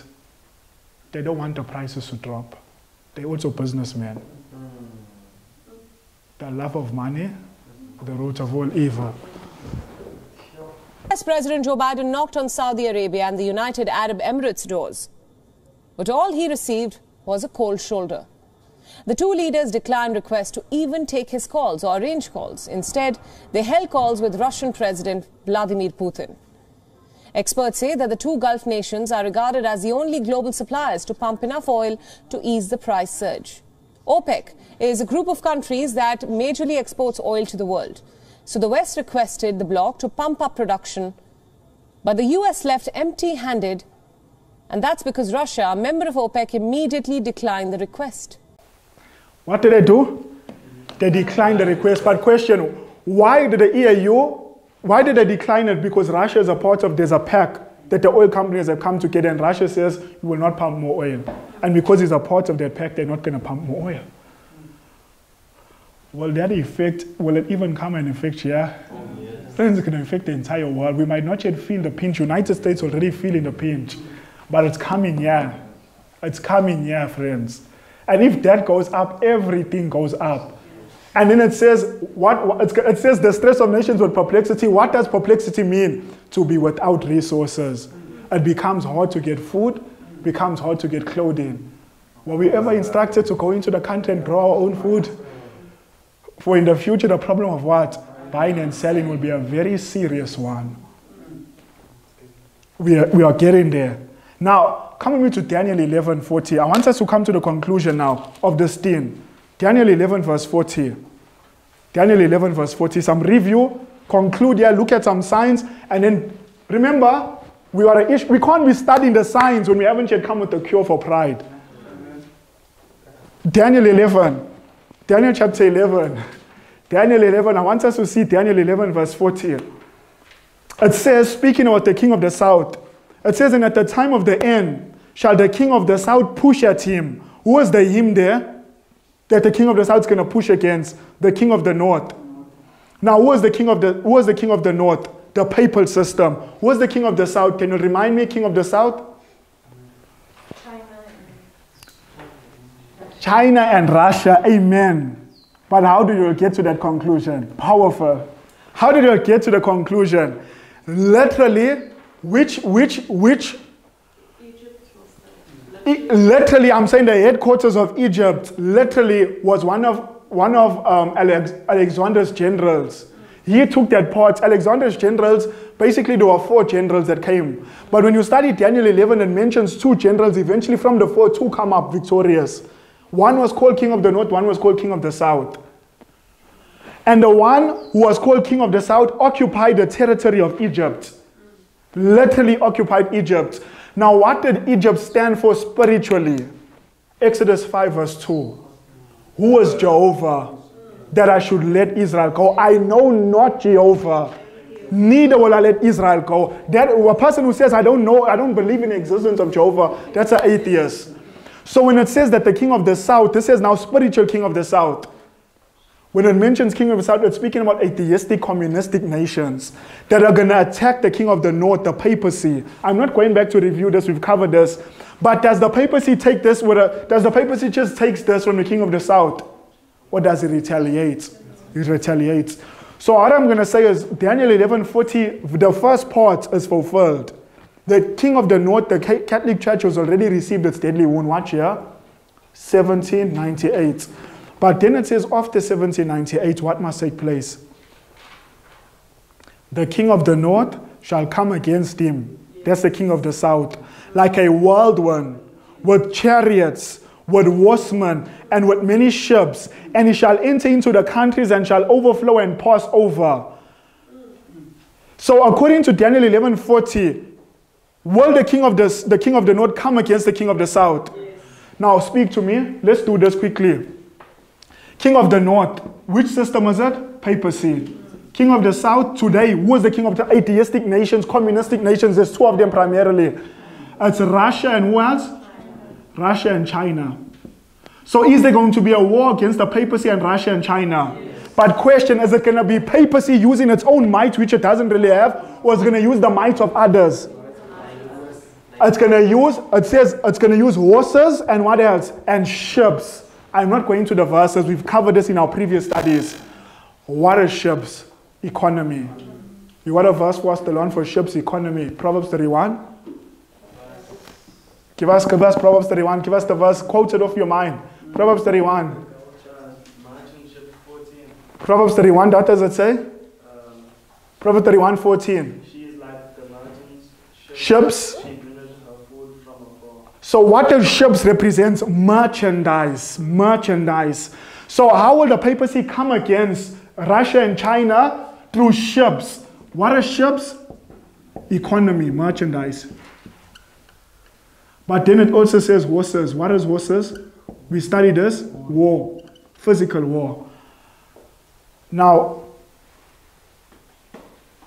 speak to me. Speak to me. Economy and, and which nation is the most powerful nation military? Speak to me. USA. Economy, which is the most pow- one of the most powerful economies in the world? Germany. Germany. Now, what is Germany a part of? And USA. What are they both part of? So, what will the papacy use to overthrow Russia and China? It's going to use NATO. Are you following, friends? Is this Bible? What if I show you that that's the purpose of NATO? I'm saying, what if their documents, NATO's documents say is to overthrow communism? Would you believe me? Yeah, friends, Bible says the king of the north is going to use Germany and the United States to overthrow Russia and China. Because it says through war, most powerful nation to do this has to be United States. It says through economy, the only one of the nations, the strongest economy is Germany. So, and Germany and the United States is a part of a form, a, a, a, a, alliance called NATO. What if I tell you that NATO was designed, the original design was to overthrow communism, which Russia and China is the king of the south, which is communism. Let me show you that. Friends, this thing is sweet. You can't see it, but to me it's sweet. Watch this thing. First things first, what is NATO? The North Atlantic Treaty Organization, a security alliance between North America and Europe. It was formed after the Second World War. The goal, they say, was to protect democratic freedom. On the 4th of April 1949, the North Atlantic Treaty was signed. This treaty was simply an anti-Soviet accord aimed at countering any future aggression by the USSR. It established a new balance of power in Europe. It promised all members collective security. That's a core principle laid out in Article 5 of the NATO Treaty. It obliges member states to protect each other in case of a war. It says an armed attack against one ally will be an attack on all allies, meaning if one NATO nation is attacked, all NATO nations will retaliate. This allowed NATO members to pool and share their military resources. They built efficient defense capabilities, but there was more to NATO than just defense. It was an alliance of liberal countries, an engine of democratization that was supposed to promote common values and interests also push back against the rise of communism. Did you hear that? What was NATO to push back against? Communism. And uh, it was a pack of nations, most of Europe, the European nations and United States of America, they have aligned themselves to push back against communism. Which two nations? Uh, China and Russia. The NATO was designed, their whole purpose was to make sure communism never puts its head up. Overthrow communism. Does the Bible say that was take place? Friends, this thing is how accurate is the word of God? You'll only see the sweetness of this thing. I see it. Now I want you to see. How did I get to this? The war in Ukraine has not even completed a fortnight, but okay, yes. Now tell me something. As this war in Ukraine is taking place, is it causing the alliance between China and Russia to become stronger? Yes. Watch this. The war in Ukraine has not even completed a fortnight, but a diplomatic fallout is already in the making.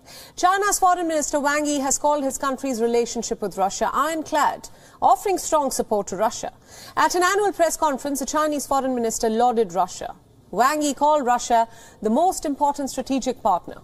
He also condemned the West's naked double standards, as he put it, on China's territorial claims towards Taiwan. Listen in. The friendship between Chinese and Russian people is rock solid. There is a bright prospect for cooperation between the two sides.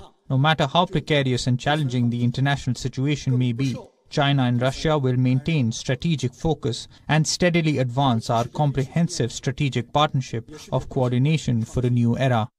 You hear what they're saying? That they, they, the alliance, or actually rock, is actually said rock solid now. Rock solid. Friends, I, you know, I, I, like I, am just going past this thing and you're not seeing the sweetness. The Bible predicts unite, that the king of the north is going to use military power, horses, and economy, which has to be United States and Germany. They are pawns of NATO to overthrow the king of the south. God's word said it. And I'm showing you little facts where it says NATO is purposely designed to make sure communism doesn't exist. Like I, I'm saying, Lord, how perfect can these things align? Friends, you can't see it, but I, am saying that uh, this thing is beautiful. But the next thing after this thing, the stress of nations with perplexity, God says expect a national Sunday law. Someone says no, national Sunday law is not next because we're studying Daniel 11. I'm now taking you to Luke. Luke says national Sunday, yes.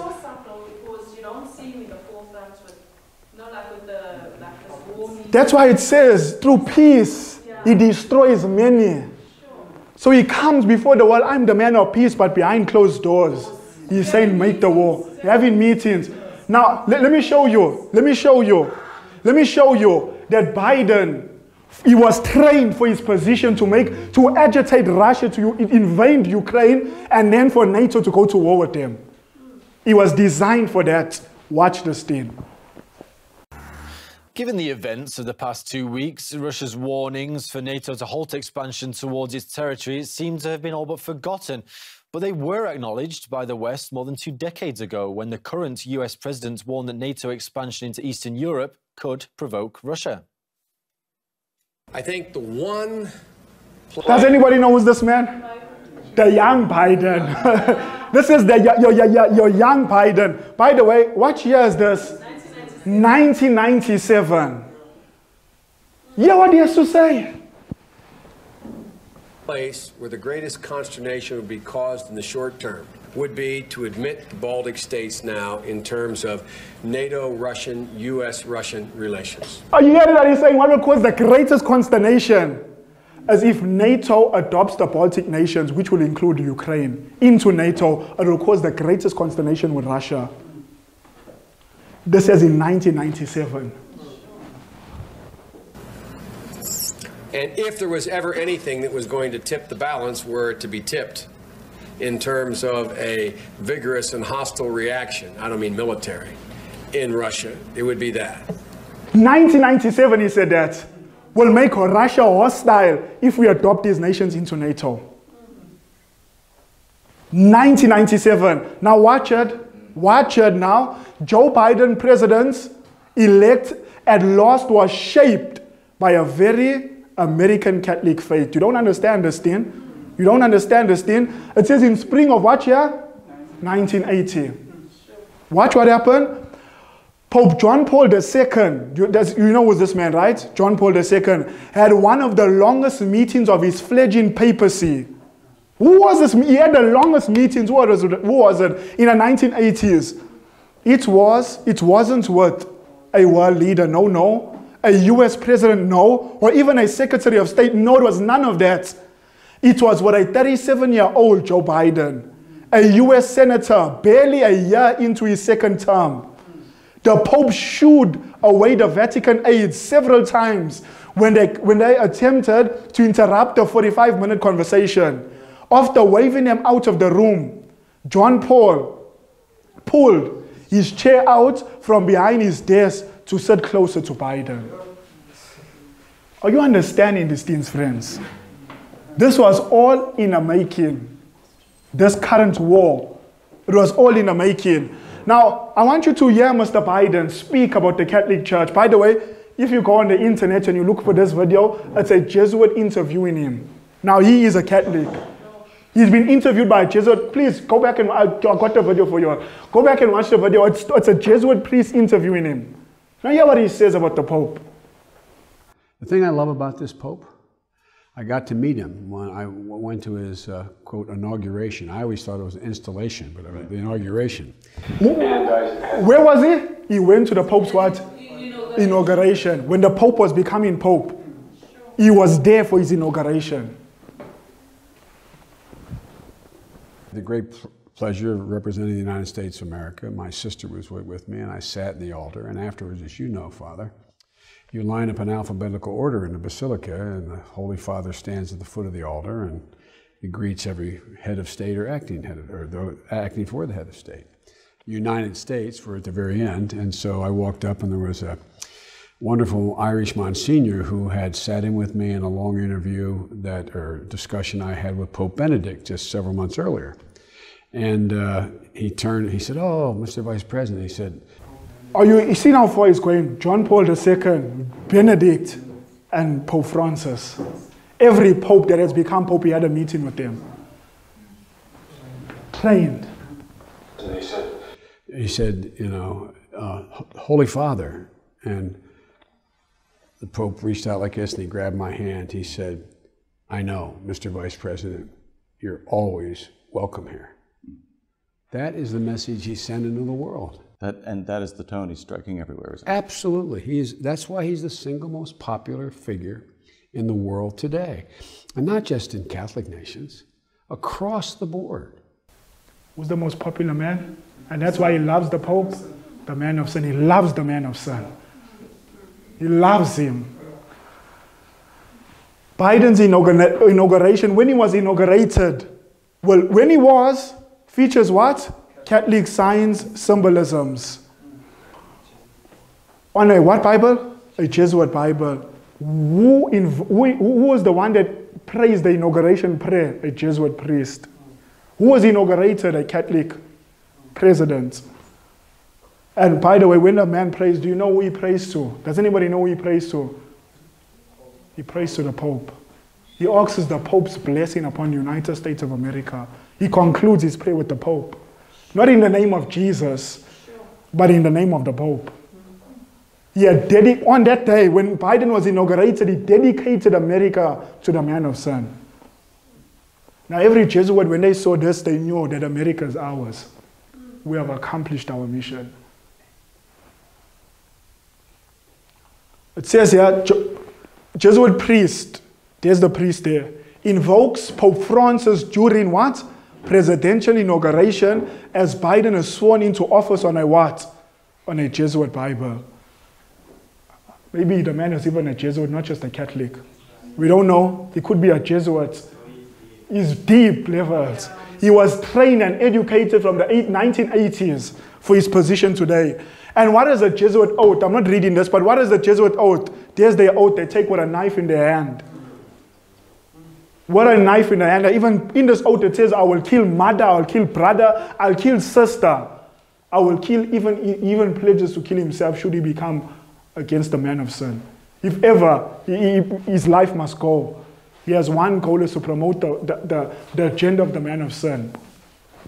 But what is the first sentence in their decree, in their oath?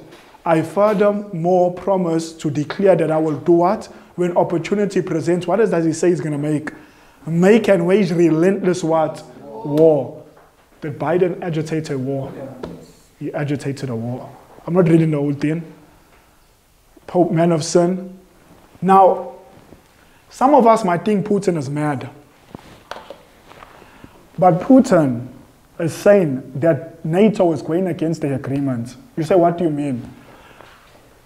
After Germany fell, World War II, after World War II, there were some issues, and then what happened was there was a pledge made that if Germany was allowed into NATO, NATO would not expand further towards Russia. That would be the last nation ever. But you know that they failed on their promise. They adopted more and more until they're now on the borders of Russia. I'm saying by adopting nations into NATO.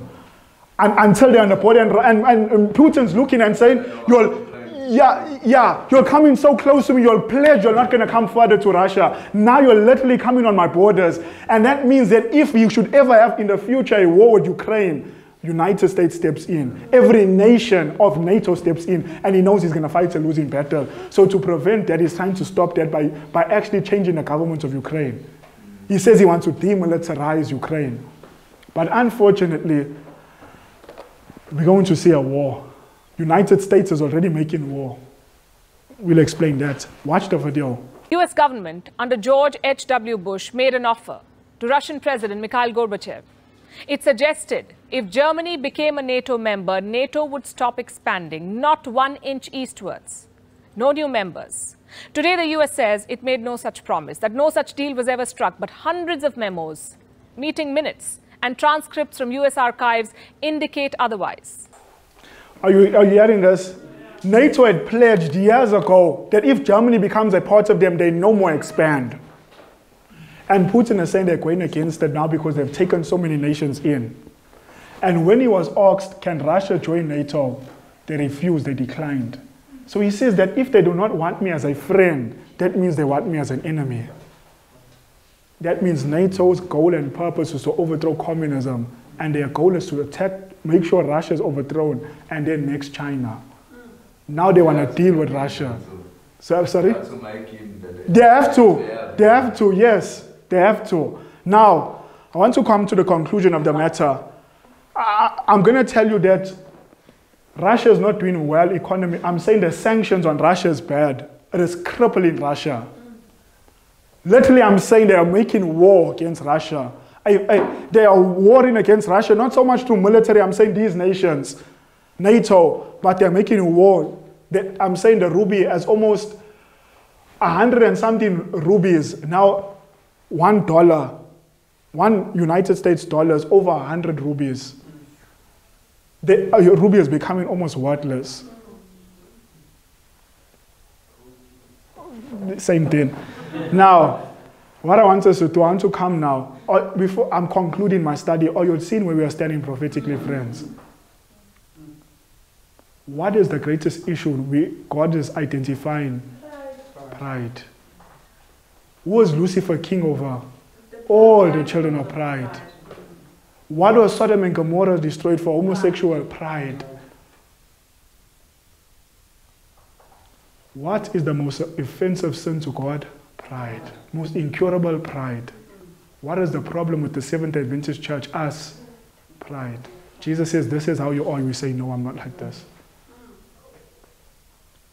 What I want us to do, I want us to look at this. Come in your Bible to Malachi 4. I want us to, I want us to look, we're coming to the conclusion. Malachi 4.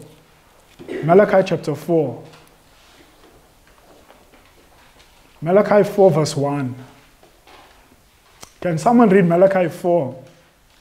When God says he's going to burn all the wicked, What word does he use for everyone outside the city in Malachi 4, verse 1? What is the word that he uses? Um, oh, you seen that? All right, read it. For behold, the day cometh that shall burn as an oven, and all the clouds that What, what does God say when all the wicked are burned? What does he call them? All the proud. Yea, and all that do wickedly shall be as stubble. The day that cometh shall burn them up, saith the Lord of hosts, that it shall leave them neither root. Who is the root of pride? Satan. And who is the branches? His children. All his children are the branches. Everyone who clings to pride. Everyone who clings to pride. So what God is saying, He's saying that everyone who's lost outside my, everyone who's not, don't make it in, one problem they all had in harmony. Maybe this person is their homosexuality. This person here lust. This person, whatever. What does God say they all have in common? Don't they have different sins? He says they are all children of pride here. So if God wants to remedy the problem with me, what is He going to deal with? Pride. Pride. Remember Proverbs 16? I want you to see what Proverbs 16 says. Before a person commits sin, what is the thing that comes up first within their heart? You guessing or do you know that? Come me to Proverbs 16, let's see. Proverbs chapter 16, verse 18, you are right. you are right. Proverbs 16, you can read it for us, should I? Proverbs 16, loud so we can people can hear on the camera. Proverbs 16, verse 18. What does it say? Before a person commits sin, before they are destroyed, what must go before them? Mm. So before a person can be destroyed, what does God say they must first have? They must have pride. So pride goeth before destruction. And when somebody is proud, they are haughty. A haughty spirit before a fall. So no one commits sin without, without first being proudful. Pride must be in the heart before sin's committed. Pride of opinion, pride of anything, pride.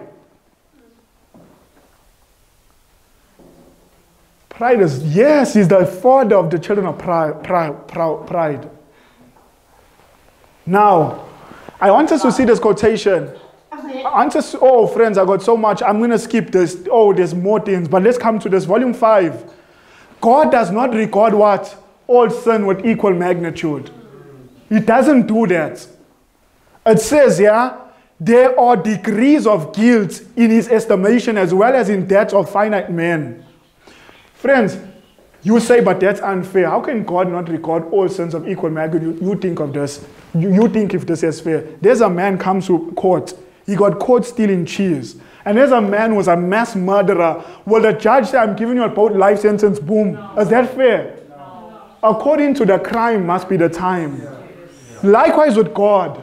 According to the, I'm saying if we in our human mind cannot both men get the same sentence, no, it's unfair.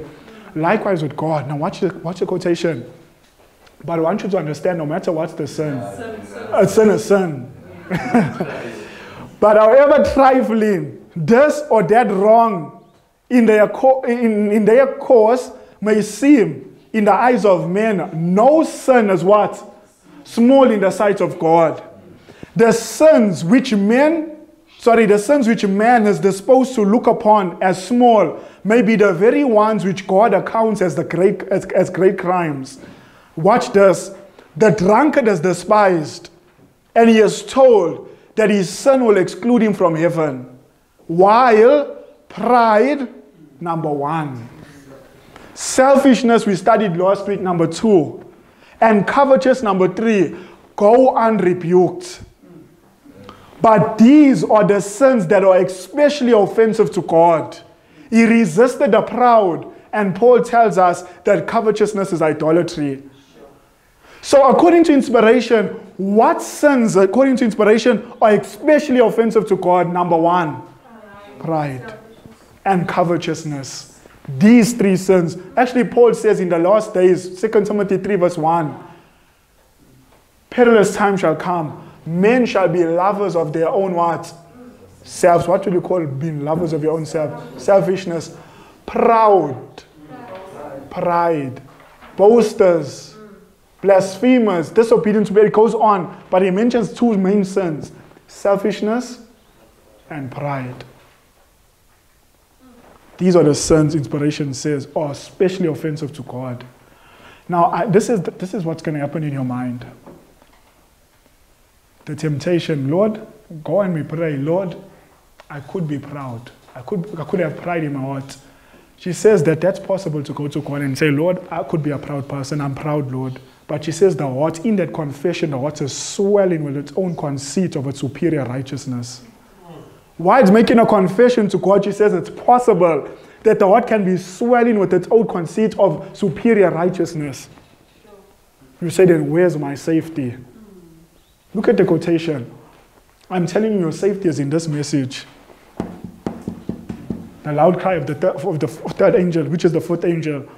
It says, but we must, actually, you know what? Let's keep that. Let's go straight to the red words. She says, the lips may express, what may the lips express? A poverty of soul. That means the lips may express, Lord, I, I, I, I poverty stricken. My soul is poverty stricken. I am proud. I'm selfish. I'm like you're telling God, Lord, this is who I am. She says the lips may express a poverty of soul that the heart does not acknowledge. Like, yeah, you could be like, yes. So she's saying, yeah? You don't know what's. You don't know, yes, yes. Same with, the same with us. We might come with, and with our lips, Lord, I'm proud. I'm selfish. I'm covetous. But she says, the lips is telling God that, but the heart does not acknowledge. The heart is saying, I'm not proud. I'm not selfish. Mm-mm, not me. But the lips is saying it. She continues, while speaking to God of poverty of spirits, the heart may be swelling with the conceit of its own superior humility and exalted righteousness. So she's saying it's possible. We can be praying to God, saying, Lord, I, am I'm, I'm like this. but she's saying the heart is not acknowledging that. And you know what pride says? Paul says, uh, what pride does, it compares itself amongst each other. Like uh, you, your goodness is based upon someone's badness. The worse they look, the better you appear in your own eyes. Remember the Pharisee, Lord, I thank thee. And I'm not like this man. Oh, Lord, this man is like this, he's like that, he's like that. I don't do those things. And because he's so bad, I look so good. So the more people you can look at who's bad, the more better you appear. For your own deceit and mind. so, are you seeing what's pride, friends? Now, what is the remedy for this dangerous, deadly thing? Which, even if I'm praying, inspiration is saying the heart is not acknowledging it's pride. But remember, we read the Holy Spirit is a mighty agency, but we saw that pride overpowered uh, the Holy Spirit. And I say that reverently.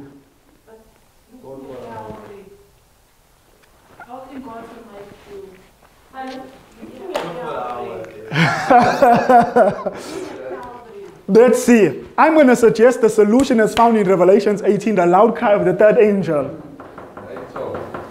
Huh?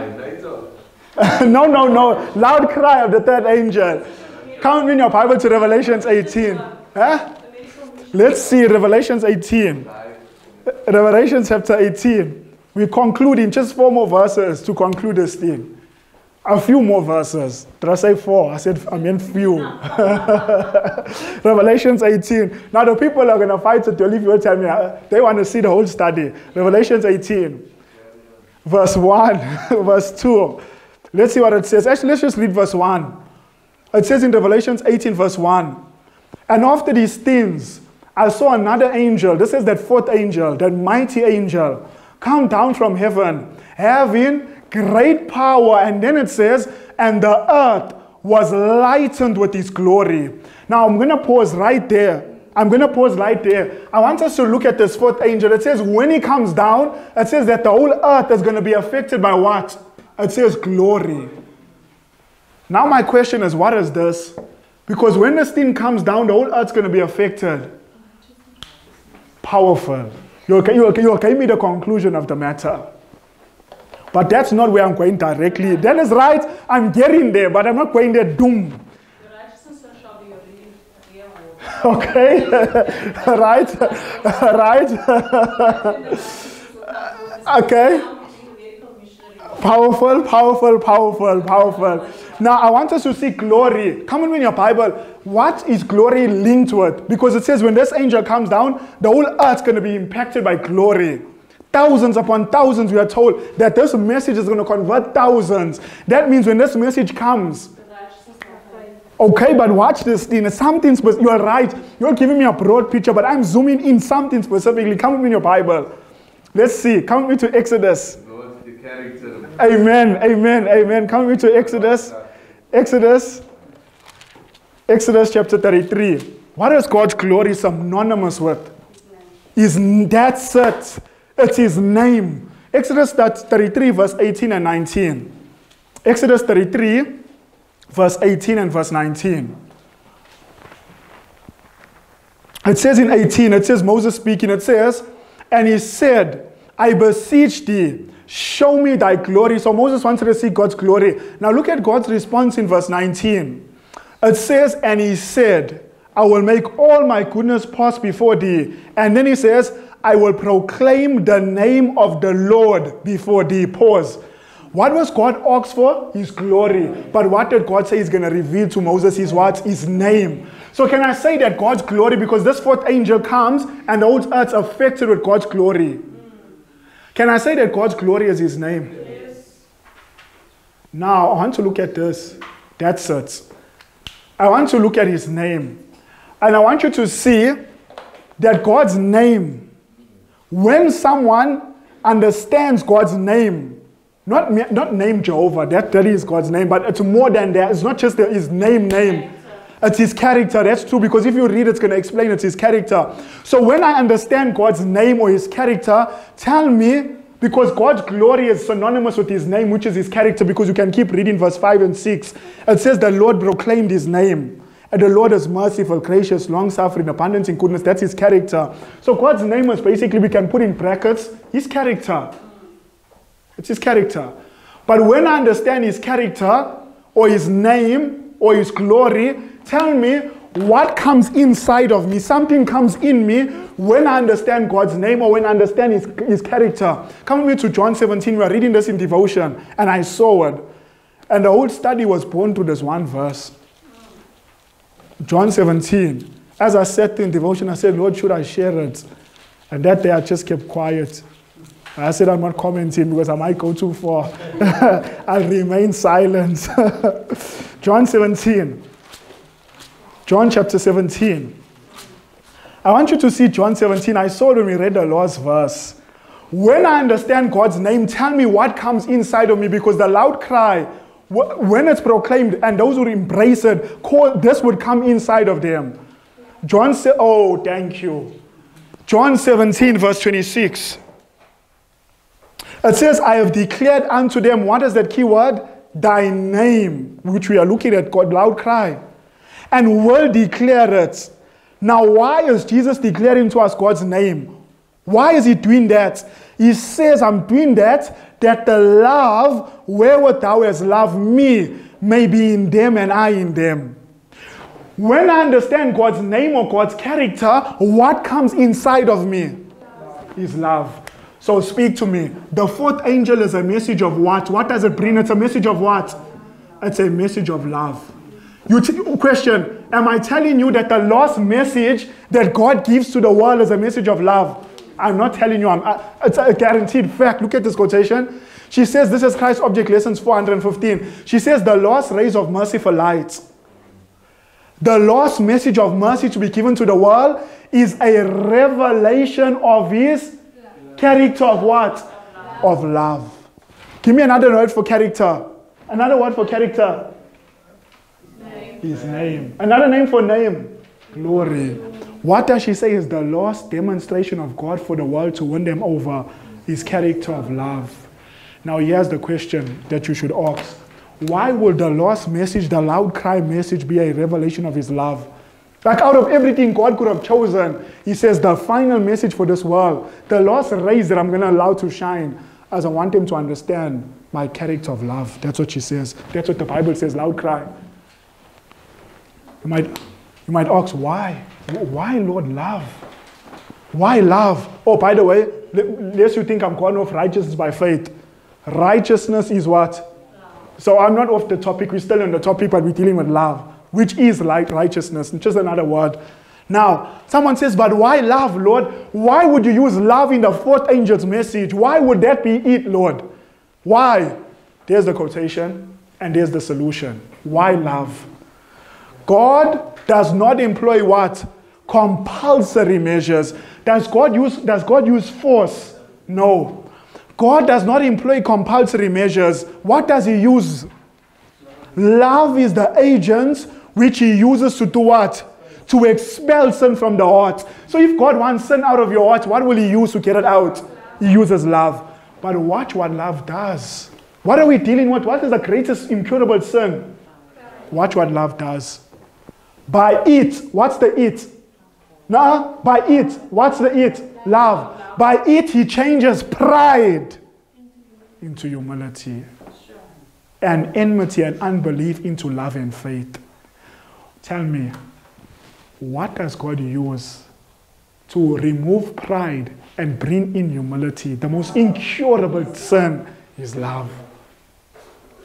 That's why the loud cry message is a message of love. It's a revelation of the character of God's love. It's not just a message, yes, it's a message of His love, but it's a demonstration of that love.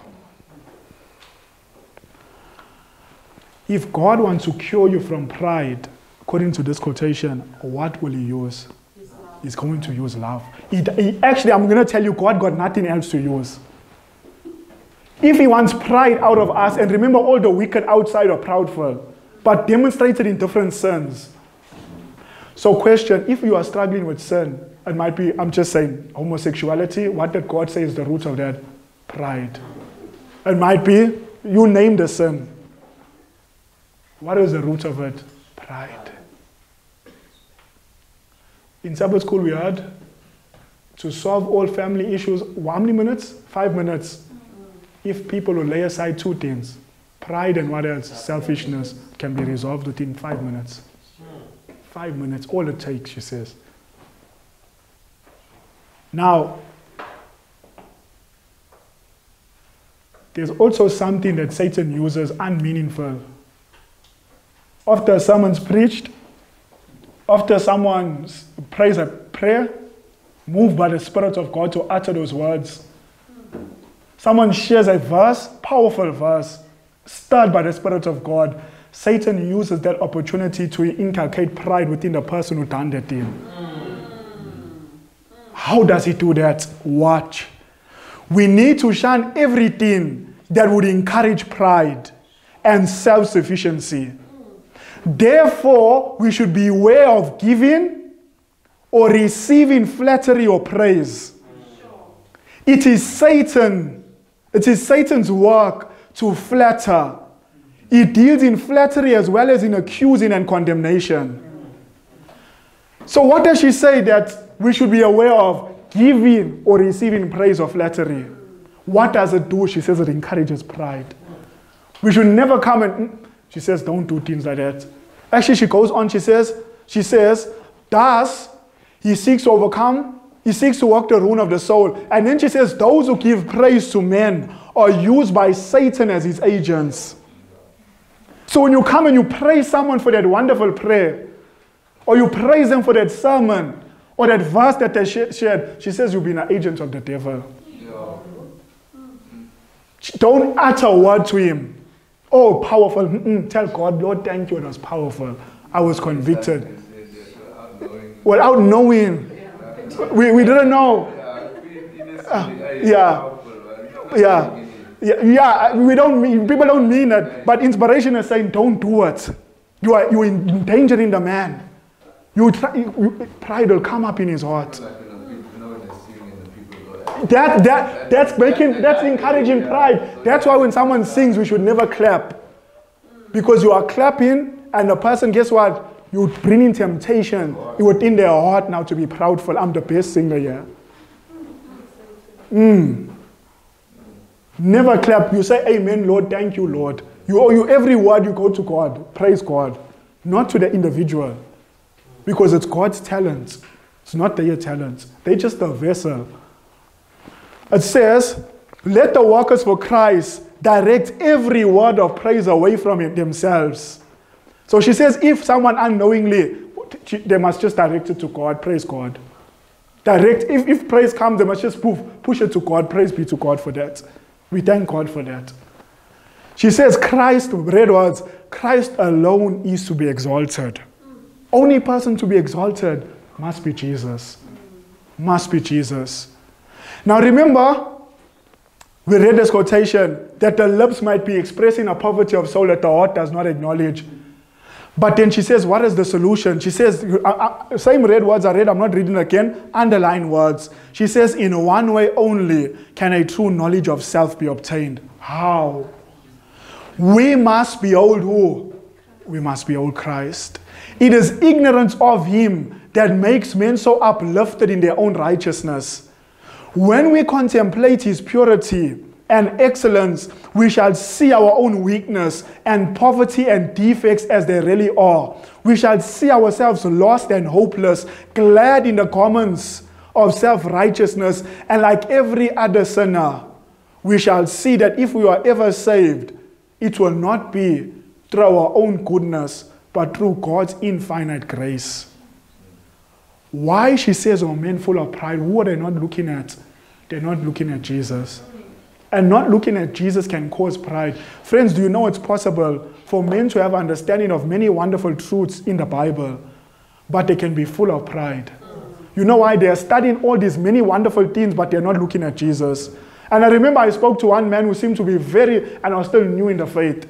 Hey, the man had many things memorized. And I'm saying, when I saw people do these things, and I'm a new person, I'm saying, sure, these people really study. I want to also study like that. But then I asked them, I said, I read in Desire Ages, Ellen White says a thoughtful hour. And the person said to me, very studious, very, seems that he loved God, very intelligent concerning the Bible, spirits of prophecy. He said, to, this is his own, his own, his own me. He says, if I do that, I won't have time to study other things. When he said that, I knew, man, this man is treading on dangerous ground. And I, I, I, the man is in heresy now, deep, deep heresy. Why? He had many understanding, many wonderful things, but he left out that which was core to all those things. It was Jesus. Jesus. I conclude. I conclude in Desire Verse 661. Friends, let me ask you this. If you don't want something to grow, like can you see some of the plants there? The water seems to be drowning them. I'm saying in that environment, can any seed grow? No. Do you know Ellen White says there's an environment that pride can never grow in? She says this envi- like she says it's an impossible thing to do for pride to exist in such an environment. Like a seed growing in a place full of water. Do you know what environment she says? Look at the blue words. She says pride and self worship, that selfishness, cannot flourish. Flourish means grow. Cannot flourish in the soul that keeps fresh in memory the sins of Calvary. What is she saying? If I constantly spend time looking at Jesus dying on Calvary, she says pride, self worship cannot exist, it cannot flourish in the heart. Why then is it flourishing in our hearts? We are not looking at Jesus. We are looking at many things, but we're not looking at Jesus. That's the only thing to kill it. It can. Yes. This thing will, and like, friends, it's possible to be have pride of religion. The Pharisees were they proudful in their deceit. They thought there's none like them, but they were deceived.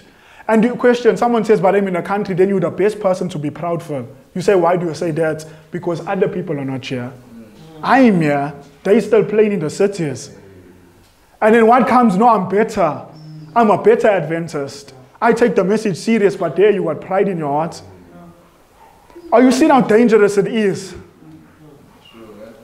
It lurks wherever there's no, you, none of us are safe. We can't escape it. Yeah. Our only remedy is the, the man of Calvary. The only remedy for pride is Jesus is Jesus. There's more, but I think we got the point. Do we understand what we studied, friends? We can't be studying and studying and studying. We need to take these things serious. Who wants to make a covenant with God today and say, Lord, I need help. I need help. I need help. I need help. Those who can, let us, let us reverently kneel.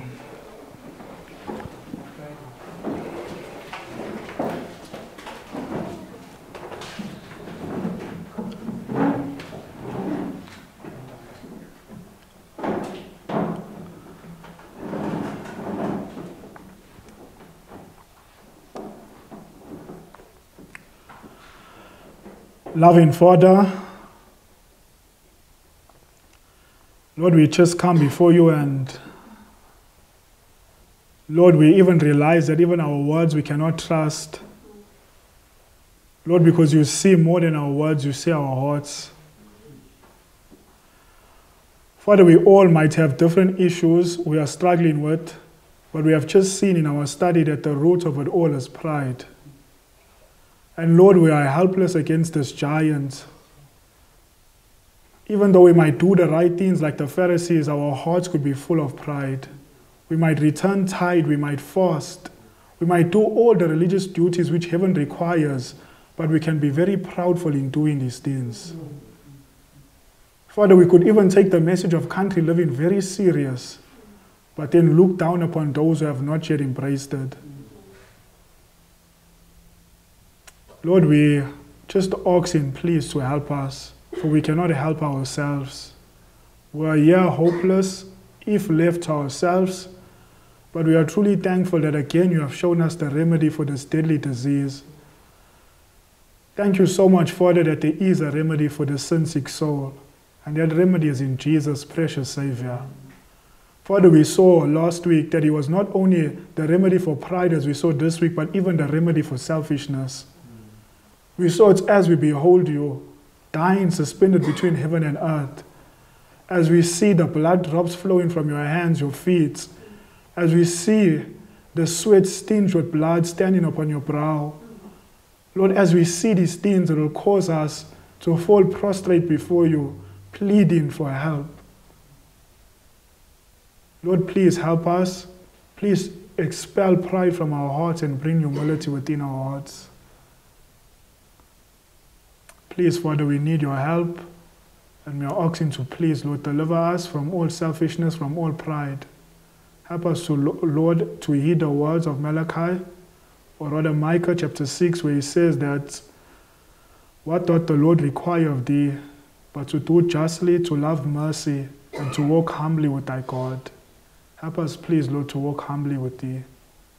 Please forgive us where we have exhibited pride within our lives and we are asking from this point, Lord, may you uproot this deadly disease, this deadly, incurable, almost incurable disease, pride.